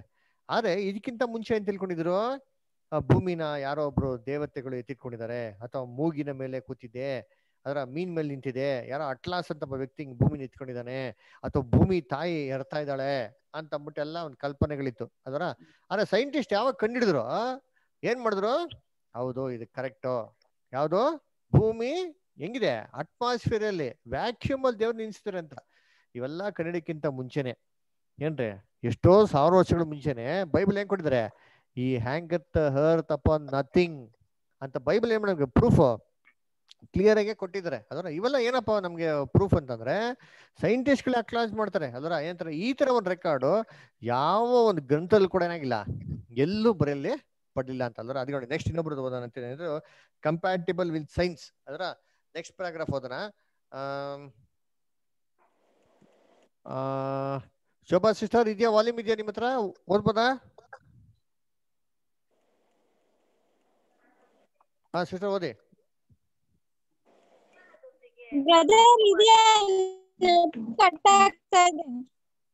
ಓಕೆ ಓಕೆ ಶೋಭಾ ಸಿಸ್ಟರ್ ಪರವಾಗಿಲ್ಲ ತೊಂದ್ರೆ ಇಲ್ಲ. ಅದೇ ಸಮಯದಲ್ಲಿ ವಿಜ್ಞಾನದ ಮುನ್ನಡೆಯು ಆಂಟಿ ಇವರು ವರಲಕ್ಷ್ಮಿ ಸಿಸ್ಟರ್ ಓದ್ತಾರಂತೆ ಓದ್ಲಿ ಅಲ್ವರ? ಸಿಸ್ಟರ್ ಓದ್ತೀರಾ? ಅದೇ ಸಮಯದಲ್ಲಿ ವಿಜ್ಞಾನದ ಮುನ್ನುಡಿಯು ದೇವರ ಪ್ರಕಟಣೆಯಾದ ಭವ್ಯ ಗ್ರಂಥದ ಈ ಪ್ರಾಮುಖ್ಯ ಭಾಗದ ಬಗೆಗಿನ ನಮ್ಮ ಮೆಚ್ಚುಗೆಯನ್ನು ಕುಂಠಿತಗೊಳಿಸದೆ ಅದನ್ನು ಮೆಚ್ಚಿಸುವುದಾಗಿದೆ. ಅದರ ಯಥೇಚ್ಛವಾದ ವರದಿನೊಳಗೆ ವಿಜ್ಞಾನದ ನಿಜವಾದ ಸಂಶೋಧನೆಗೆ ಆಶ್ರಯ ಕಂಡುಕೊಳ್ಳಲು ಅವಕಾಶವಿದೆ. ಇಂತಹ ಅಪೂರ್ವ ವಿವೇಕದೊಂದಿಗೆ, ಮುಂದೆ ವಿಜ್ಞಾನದೊಂದಿಗೆ ತಿಕ್ಕಾಟ ಉಂಟಾದಾಗ ಈ ರೀತಿಯಲ್ಲಿ ಇದರ ಭಾಷಾ ಶೈಲಿಯನ್ನು ಆರಿಸಿಕೊಳ್ಳಲಾಗಿದೆ. ಓರ್ವ ದೊಡ್ಡ ಭೂ ವಿಜ್ಞಾನಿ ಅಂತ ಕಾಲೇಜಿನ ಪ್ರೊಫೆಸರ್ ಜೆ ಡಿ ದಾನನವರು ಇದನ್ನು ಒಂದು ದೈವ ಪ್ರೇರಿತವೆಂಬ ಸಿದ್ಧಾಂತವಲ್ಲದೆ ಬೇರೆ ರೀತಿಯಲ್ಲಿ ವಿವರಿಸಲಾಗದು ಎಂದಿದ್ದಾರೆ. ಪ್ರಾರಂಭದ ವಚನದಲ್ಲಿ ಭೂಮಿ ಆಕಾಶಗಳು ಪ್ರಾರಂಭದಲ್ಲಿಯೇ ಸೃಷ್ಟಿಸಲ್ಪಟ್ಟವು. ಎಂದು ಮಾತ್ರ ಹೇಳಿದ್ದು, ಈ ಆರಂಭವು ಯಾವಾಗ ಆಯಿತೆಂಬುದನ್ನು ಅದು ದೃಢಪಡಿಸದೆ ಮತ್ತು ಭೂಲೋಕದ ಪ್ರಾಯದ ಬಗ್ಗೆಯೂ ಏನೇನೂ ಹೇಳದೆ ಸೌರ ಪದ್ಧತಿಗಳ ಬಗ್ಗೆ ಉಂಟಾಗಿರುವ ಎಲ್ಲಾ ವಾಗ್ವಾದಗಳನ್ನು ಮುಚ್ಚಿ ಹಾಕುತ್ತದೆ. ಆದರೆ ಈ ಸೌರ ಪದ್ಧತಿಗೆ ಒಂದು ಆರಂಭವಿದೆ ಎಂಬುದನ್ನು ವಿಜ್ಞಾನವು ಸ್ಪಷ್ಟವಾಗಿ ರುಜುವಾತುಪಡಿಸಿದೆ. ಇದಕ್ಕೆ ಯಾವ ದಿಟ್ಟ ವಿಕಾಸವಾದಿಯೂ ಪ್ರತಿ ಹೇಳಲಾರ ಪ್ರತಿ ಹೇಳಲಾರ. ಚೈತನ್ಯದ ಸಂರಕ್ಷಣೆ ಎಂಬ ಆಧುನಿಕ ಸಿದ್ಧಾಂತವು ಪ್ರಸ್ತುತ ಸಂಗತಿಗಳು ನಿರಂತರವಾಗಿ ಇದ್ದಿದ್ದಲ್ಲವೆಂದು ದೃಢಪಡಿಸುತ್ತದೆ. ಸೂರ್ಯನು ತಂಪಾಗಿದ್ದಾನೆ, ಅದರ ಶಾಖವು ಕ್ಷಿಪ್ತವಾಗಿ ಪ್ರಸರಿಸುತ್ತಿದ್ದು ಖಾಲಿ ಸ್ಥಳಗಳಲ್ಲಿ ಪ್ರಯೋಜನವಿಲ್ಲದಾಗಿದೆ. ಸಂಕ್ಷಿಪ್ತವಾಗಿ ಸೌರ ಪದ್ಧತಿಯು ಕ್ಷೀಣಿಸುತ್ತದೆ. ಪ್ರಕ್ರಿಯೆಯು ಸದಾ ಮುಂದುವರಿಸಿಕೊಂಡು ಹೋಗಲು ಸಾಧ್ಯವಿಲ್ಲವೆಂಬುದು ಮಧ್ಯಾಹ್ನದ ಬೆಳಕಿನಷ್ಟೇ ಸತ್ಯ. ನಿಹಾರಿಕೆಯ ಪೂರ್ವ ಸಿದ್ಧಾಂತವೂ ಸಹ ಒಂದು ಪ್ರಾರಂಭವನ್ನು ಸೂಚಿಸುತ್ತದೆ. ಮನುಷ್ಯನು ಯಾವುದೇ ಬುದ್ಧಿ ಚಾತುರ್ಯವು ಸತ್ಯವೇದದ ಮೊದಲನೆಯ ವಚನದಲ್ಲಿ ನೀಡಿರುವ ಹೇಳಿಕೆಗಿಂತ ಉತ್ತಮವಾದದ್ದು ಯೋಚಿಸಲಾಗದು ಓಕೆ ಥ್ಯಾಂಕ್ ಯು ಸೊ ಅದಕ್ಕೆ ನೋಡ್ಬೇಕಾದ್ರೆ ಏನ್ ಹೇಳ್ತಾರಪ್ಪ ಈ ಪ್ಯಾರಾಗ್ರಾಫ್ ಅಲ್ಲಿ ಅಂತಂದ್ರೆ ಭೂಮಿಯ ಒಂದು ಸೃಷ್ಟಿ. ಅದರ ಸೊ ನೋಡ್ಬೇಕಾದ್ರೆ ಒಂದನೇ ವಚನದಲ್ಲಿ ನಾವು ಆದಿಕಾಂಡದಲ್ಲಿ ನೋಡಿದ್ರೆ, ಆದಿಯಲ್ಲಿ ದೇವರು ಭೂಮಿ, ಆಕಾಶನ ಸೃಷ್ಟಿ ಮಾಡಿದ್ರು ಅಂತ ನಾವು ನೋಡ್ತೀವಿ. ಅದರ ಒಂದೇ ಒಂದು ಸಿಂಪಲ್ ಒಂದು ವರ್ಷಲ್ಲಿ ದೇವರು ಮೈಟಿ ಯೂನಿವರ್ಸ್ ಸೃಷ್ಟಿ ಮಾಡಿರೋಂಥ ಡೀಟೇಲ್ಸ್ ಏನ್ ಮಾಡೋದು ನಮ್ಗೆ? ನಮ್ಗೆ ಸ್ಪಷ್ಟವಾಗಿ ಕೊಟ್ಟಿದ್ದಾರೆ ಅಂತ ಹೇಳ್ತಾರೆ. ಅದರ ಅದೇ ನೋಡ್ಬೇಕಾದ್ರೆ ಅದನ್ನ ಕೀರ್ತನೆ ಹತ್ತೊಂಬತ್ತು ಒಂದಲ್ಲಿ ಮತ್ತೆ ಅದರಿಂದ ಮೂರನೇ ವಚನದವರೆಗೂ ನಾವು ಓದ ನೋಡಿದ್ರೆ, ಆಕಾಶ ಮಂಡಲವು ದೇವರ ಒಂದು ಎಂತಾರೆ. ಇದನ್ನ ಪ್ರಚುರ ಪಡಿಸ್ತದೆ ಅಂತ ಹೇಳ್ತಾ ಇದ್ದಾರೆ ಅಂದ್ರೆ ದೇವರ ಒಂದು ಕೀರ್ತಿ, ದೇವರ ಒಂದು ಕೈ ಕೆಲಸನ ಮೊದಲು ಮೊದಲು ತಿಳಿಸೋದು ಯಾವ್ದಂದ್ರೆ ಆತನ ಸೃಷ್ಟಿಸಿದಂತ ಆಕಾಶ ಮಂಡಲಗಳು ಅಲ್ರ ಇದು ನಮ್ಗೆ ಅನಂತರ ನಮ್ಗೆ ಹೆಂಗೆ ಪ್ರೂವ್ ಆಯ್ತು? ಏನಂದ್ರೆ the heavens existed before the earth was created ಅಂತ ಬಿಟ್ಟು, ಇವ ಅದನ್ನ ಹೆಂಗೆ ಪ್ರೂವ್ ಆಯ್ತು ಅಂದ್ರೆ ಇವತ್ತು ಸೋಲಾರ್ ಸಿಸ್ಟಮ್ನಲ್ಲಿ ಇದೆಲ್ಲ ಕಂಡುಹಿಡಿಬೇಕಾರೆ ಏನಂತಾರೆ ಅದು ಹೇಳ್ತಾರಲ್ಲ ಏನಂದ್ರೆ ಆ ಒಂದು ಟೆಲಿಸ್ಕೋಪು ಅದೆಲ್ಲ ಮುಖಾಂತರ ನಾವು ಏನಂತಾರೆ ಇವೆಲ್ಲ ನೋಡ್ಬೇಕಾದ್ರೆ ಮನುಷ್ಯ ಏನ್ ಕಂಡಿಡಿದವ್ರೆ ಅಂತಂದ್ರೆ, ಏನ್ರಿ, ಈ ಭೂಮಿನ ಸೃಷ್ಟಿ ಮಾಡೋದಕ್ಕಿಂತ ಮುಂಚೆ ಏನಾಗಿರ್ಬೇಕು, ದೇವರು ಈ ಔಟರ್ ಯೂನಿವರ್ಸ್ ಏನ್ ಮಾಡ್ಬೇಕು, ದೇವರು ಸೃಷ್ಟಿ ಮಾಡೋಕೆ ಈ ಭೂಮಿನ ಮನುಷ್ಯನಿಗೆ ವಾಸ ಮಾಡೋದಕ್ಕೆ ಮಾತ್ರ ಏನ್ ಮಾಡೋದು, ದೇವರು ಸೃಷ್ಟಿ ಮಾಡೋರು ಹಂಗಾರೆ ಈ ಮನುಷ್ಯನಿಗೆ ವಾಸಕ್ಕೆ ಬೇಕಾದಂತ ಒಂದು ಎಲ್ಲಾ ಕಾರ್ಯಗಳ ಮಾಡೋದಕ್ಕಿಂತ ಮುಂಚೆ ಏನಾಗಿತ್ತು ಭೂಮಿ ಮೊದ್ಲಿಂದ ಇತ್ತು ಅಂತ ಏನ್ ಹೇಳ್ತಾರೋ, ಈ ಸೈಂಟಿಸ್ಟ್ಗಳು ಆ ಮಾತಿಗೆ ಏನಾಗ್ತಾರೆ ಬೈಬಲ್ ಹಾ ಅವ್ರು ಹೇಳಂತ ಮಾತು ಬೈಬಲ್ ಏನಾಗ್ತದೆ? ಪ್ರೂವ್ ಮಾಡ್ತದೆ ಅಂತ ಏನ್ ಮಾಡ್ತಾರೆ ನಮ್ಗೆ ಪ್ರೂಫ್ ಹೇಳ್ತಾ ಇದ್ರ ನೆಕ್ಸ್ಟ್ ನೆಕ್ಸ್ಟ್ ಪ್ಯಾರಾಗ್ರಾಫ್ ಅಲ್ಲಿ ಇನ್ನೊಂದು ಮಾತು ಹೇಳ್ತಾರೆ. ಏನಂದ್ರೆ ಕ್ರಿಯೇಷನ್ ಹೆಂಗಾಯ್ತು? ದಡ ಬುಡದ ಟಕ್ ಟಕ್ ಅಂತ ಮ್ಯಾಜಿಕ್ ಆಗಿ ಏನಾಗಿಲ್ಲ ಆಗಿಲ್ಲ. ಇಟ್ ವಾಸ್ ಗ್ರಾಜುವಲ್ ಪ್ರೊಸೆಸ್ ಅಂತ ಹೇಳ್ತಾರೆ. ನೆಕ್ಸ್ಟ್ ಪ್ಯಾರಾಗ್ರಾಫ್ ಯಾರ ಹತ್ರ? ವಾಲ್ಯೂಮ್ ಇದ್ರೆ ಓದ್ತಾರೆ? ಯಾರ ಹತ್ರ ಇದೆ? ಓಕೆ ಆ ನಾನು ಓದ್ತೀನಿ ಬ್ರದರ್ ಆ ಸಿಸ್ಟರ್ ಓದಿ. ಥ್ಯಾಂಕ್ ಯು ಗುಡ್ ಓದಿ.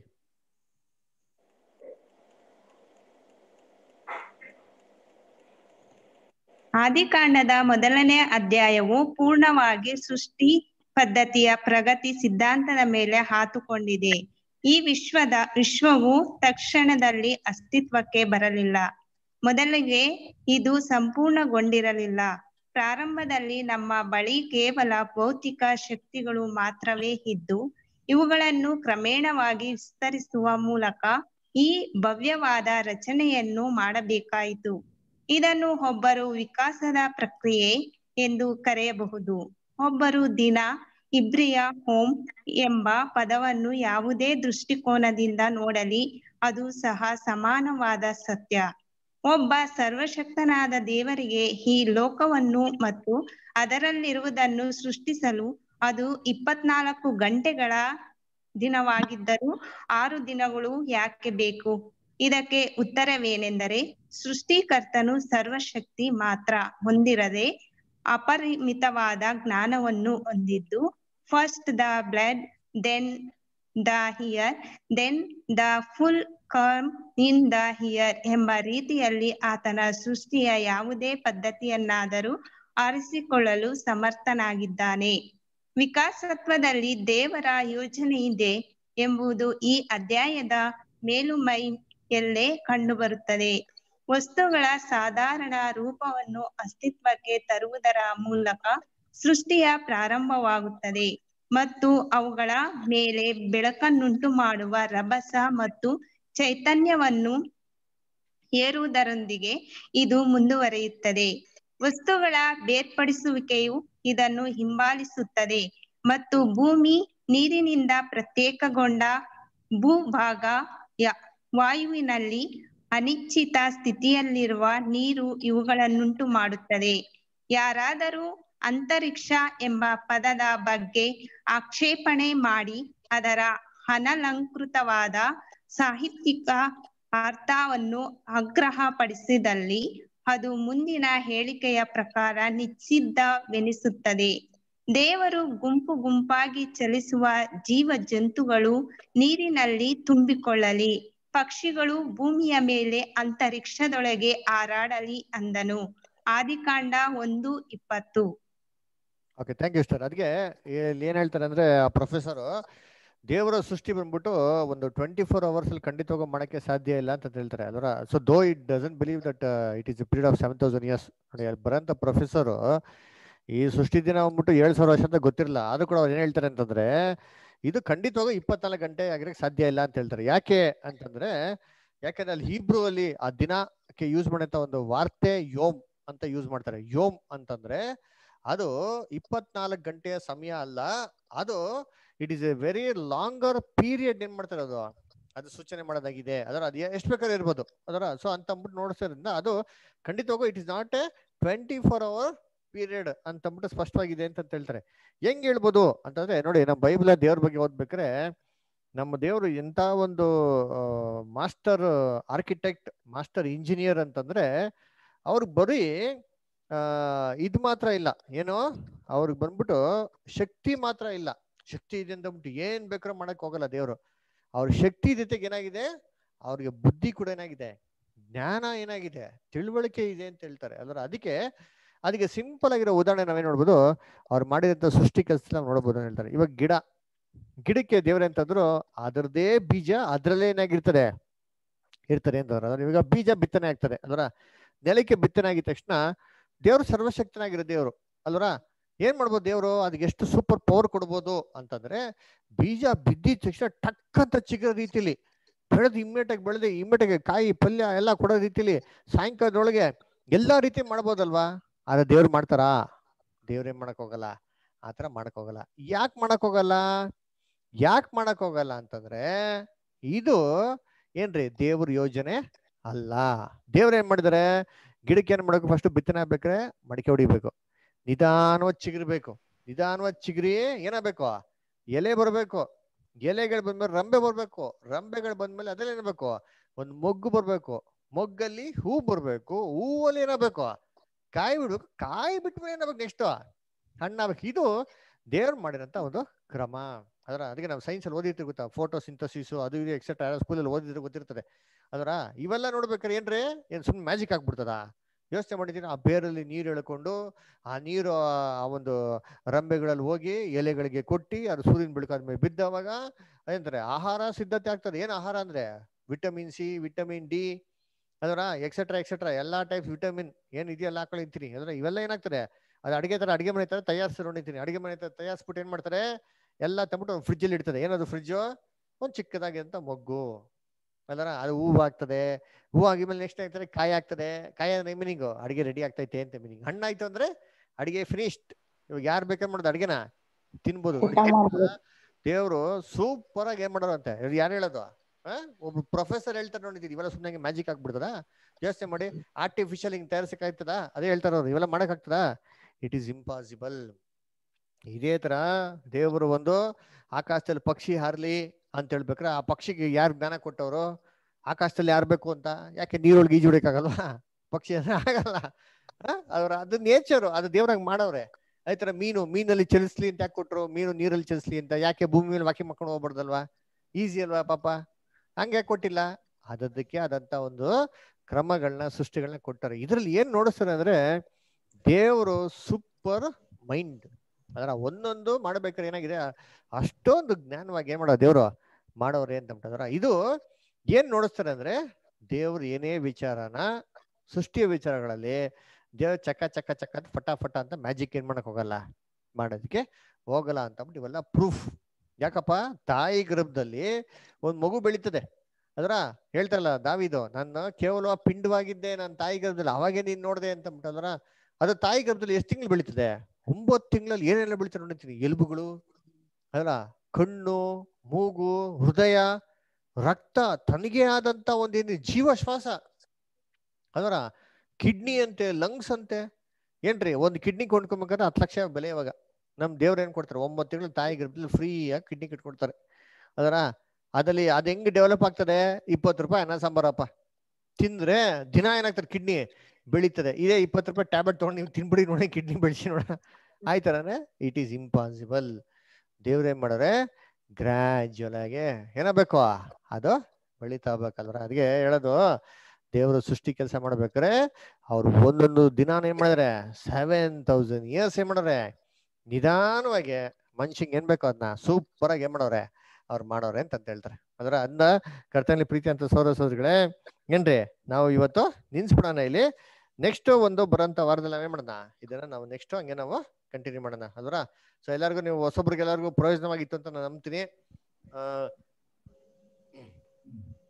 ಕೊನೆಯದಾಗಿ ಯಾರಿಗಾರ ಏನೋ ಡೌಟ್ಸ್ ಇದ್ರೆ ಕೇಳ್ಬೋದು. ಯಾರಿಗಾರ ಪ್ರಶ್ನೆ ಇದೆಯಾ? ಡೌಟ್ಸ್ ಇದೆಯಾ? ಸರಿ ಓಕೆ ಹಾಗಾದ್ರೆ ಕೊನೆಯದಾಗಿ ನಾವೊಂದು ಪ್ರಾರ್ಥನೆ ಮಾಡಿ ನಾವು ಮುಕ್ತಾಯ ಮಾಡೋಣ. ನಮ್ಮ ಪಟೇಲ್ ಬದರ್ ಒಂದು ಪ್ರಾರ್ಥನೆ ಮಾಡ್ಬೋದಾ? ಇದ್ದೀರಾ? ಮಾಡ್ತೇನೆ ಬ್ರದರ್. ಓಕೆ ಥ್ಯಾಂಕ್ ಯು ಸರ್ವಶಕ್ತನೇ ಮಹೋನ್ನತನೇ ಅಗಮ್ಯ ಬೆಳಕಿನಲ್ಲಿ ವಾಸಿಸುವಂತಹ ನಮ್ಮ ತಂದೆಯಾದ ದೇವರೇ ಸ್ವಾಮಿ ಈ ದಿನ ನೀವು ತಂಪಾದ ಸಮಯದಲ್ಲಿ ನಮ್ಮ ಎಲ್ಲಾ ಸಹೋದರ ಸಹೋದರರನ್ನು ಕೂಡಿಸಿ ನಿನ್ನ ವಾಕ್ಯವನ್ನು ಕೇಳುವಂತ ಭಾಗ್ಯವನ್ನು ನಮ್ಮನ್ನು ದಯಪಾಲಿಸಿದಕ್ಕೆ ನೀವು ಕೋಟಿ ಕೋಟಿ ಸ್ತೋತ್ರವಾಗಲಿ ತಂದೆ. ಈ ದಿನದ ವಾಕ್ಯವನ್ನು ಸಾರಿದಂತ ಸಹೋದರರಿಗೂ ತಂದೆ, ಸಮಯಕ್ಕೆ ತಕ್ಕಂತೆ ಅವರಿಗೆ ಬೇಕಾದಂತ ಆರೋಗ್ಯವನ್ನು ಕೊಟ್ಟು ದಯಪಾಲಿಸಬೇಕಾಗಿ ಈ ಮೂಲಕ ಬೇಡಿಕೊಳ್ಳಲಾಗಿದ್ದೇನೆ ತಂದೆ.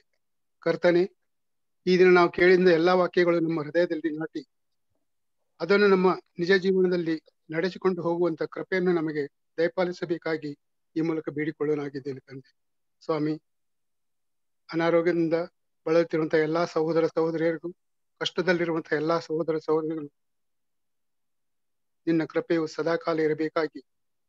ನಮ್ಮ ಕರ್ತನು ನಮ್ಮ ರಕ್ಷಕನು ನಮ್ಮ ವಿಮೋಚಕನಾದ ಪ್ರಭು ಯೇಸುವಿನ ನಾಮದಲ್ಲಿ ಅತಿ ಪ್ರೀತಿಯಿಂದಲೂ ಅತಿ ವಿನಮ್ರತೆಯಿಂದಲೂ ಅತಿ ತಾಳ್ಮೆಯಿಂದಲೂ ನಿನ್ನಲ್ಲಿ ಬೇಡಿಕೊಳ್ಳಲಾಗಿದ್ದೇವೆ ಪರಲೋಕದ ತಂದೆ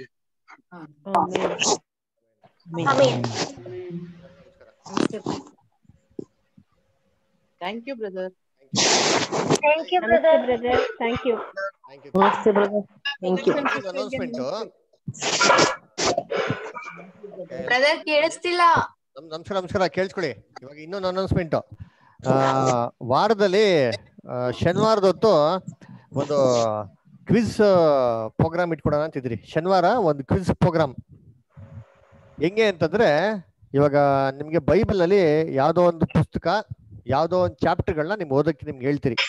ಎಕ್ಸಾಂಪಲ್ ಎಕ್ಸಾಂಪಲ್ ಉದಾಹರಣೆ ಹೇಳ್ಬೇಕಾದ್ರೆ ಆದಿಕಾಂಡ ಒಂದರಿಂದ ಇಪ್ಪತ್ತು ಭಾಗಗಳು ಅಥವಾ ಆದಿಕಾಂಡ ಒಂದರಿಂದ ಹದಿನೈದನೇ ಅಧ್ಯಾಯ ಈ ಥರ ಒಂದು ಚಾಪ್ಟರ್ಗಳು ಕೊಡ್ತೀರಿ. ಆ ಚಾಪ್ಟರ್ಗಳನ್ನ ನೀವೆಲ್ಲರೂ ಏನು ಮಾಡಬೇಕು? ಓದ್ಬೇಕು. ಸಾಟರ್ಡೇ ಏನು ಮಾಡೋಣ? ಒಂದು ಫಾರ್ಟಿ ಫೈವ್ ಮಿನಿಟ್ಸ್ ಎಂಟರಿಂದ ಒಂದು ಎಂಟು ಮುಕ್ಕಾಲ್ವರೆಗೂ ಕ್ವಿಜ್ ಪ್ರೋಗ್ರಾಮ್ ಅದ್ರ ಬಗ್ಗೆ ಇರೋಂಥ ಒಂದು ಕ್ವಶನ್ಸ್ಗಳನ್ನ ಕೇಳ್ತೀರಿ. ನೀವೆಲ್ಲ ಏನು ಮಾಡ್ರಿ ಅದಕ್ಕೆ ಅದಕ್ಕೆ ಉತ್ತರ ಕೊಡೋಣ. ಓಕೆನಾ ಉತ್ತರ ಕೊಡಕ್ಕೆ ಆಗದಿದ್ರು ಪರವಾಗಿಲ್ಲ. ದಯವಿಟ್ಟು ಎಲ್ಲರೂ ಏನ್ ಮಾಡಿ ಅದ್ರಲ್ಲಿ ಪಾರ್ಟಿಸಿಪೇಟ್ ಮಾಡಿ. ಅದರ ಅದರಲ್ಲಿ ನಮ್ಗೇನು ಒಂದು ಬೆನಿಫಿಟ್ ಆಗ್ತದೆ ಅಂದ್ರೆ ಬೈಬಲ್ ಬಗ್ಗೆ ನಮ್ಗೆ ಇನ್ನೂ. ಅಧಿಕವಾಗಿ ತಿಳ್ಕೊಳಕ್ ನಮ್ಗೆ ಏನಾಗ್ತದೆ? ಸಹಾಯ ಆಗ್ತದೆ. ಓಕೆನ್ರಾ ಆತರ ಮಾಡೋಣವಾ? ಎವ್ರಿ ಸಾಟರ್ಡೆ ಒಂದು ಕ್ವಿಜ್ ಪ್ರೋಗ್ರಾಮ್ ಖಂಡಿತ ಮಾಡಿ ಬ್ರದರ್ ಓಕೆ ಬ್ರದರ್ ಸರಿ ಓಕೆ ಸರಿ ನಿಮ್ಗೆ ಏನ್ ಮಾಡ್ತೀನಿ? ಯಾವ ಯಾವ ಚಾಪ್ಟರ್ ಯಾವತ್ತು ಇರ್ತಾರೆ ಅಂತ ಅಡ್ವಾನ್ಸ್ ಆಗಿ ಒಂದು ಟೂ ವೀಕ್ಸ್ ಬಿಫೋರ್ ಇನ್ಫಾರ್ಮ್ ಮಾಡ್ತೀರಿ ಓಕೆನಾ ನಾವ್ ಗೊತ್ತಲ್ಲ ನಿಮ್ಗೆ ಅದಕ್ಕೆ ಟೈಮ್ ಕೊಡ್ತಾ ಇದ್ದೀರಾ?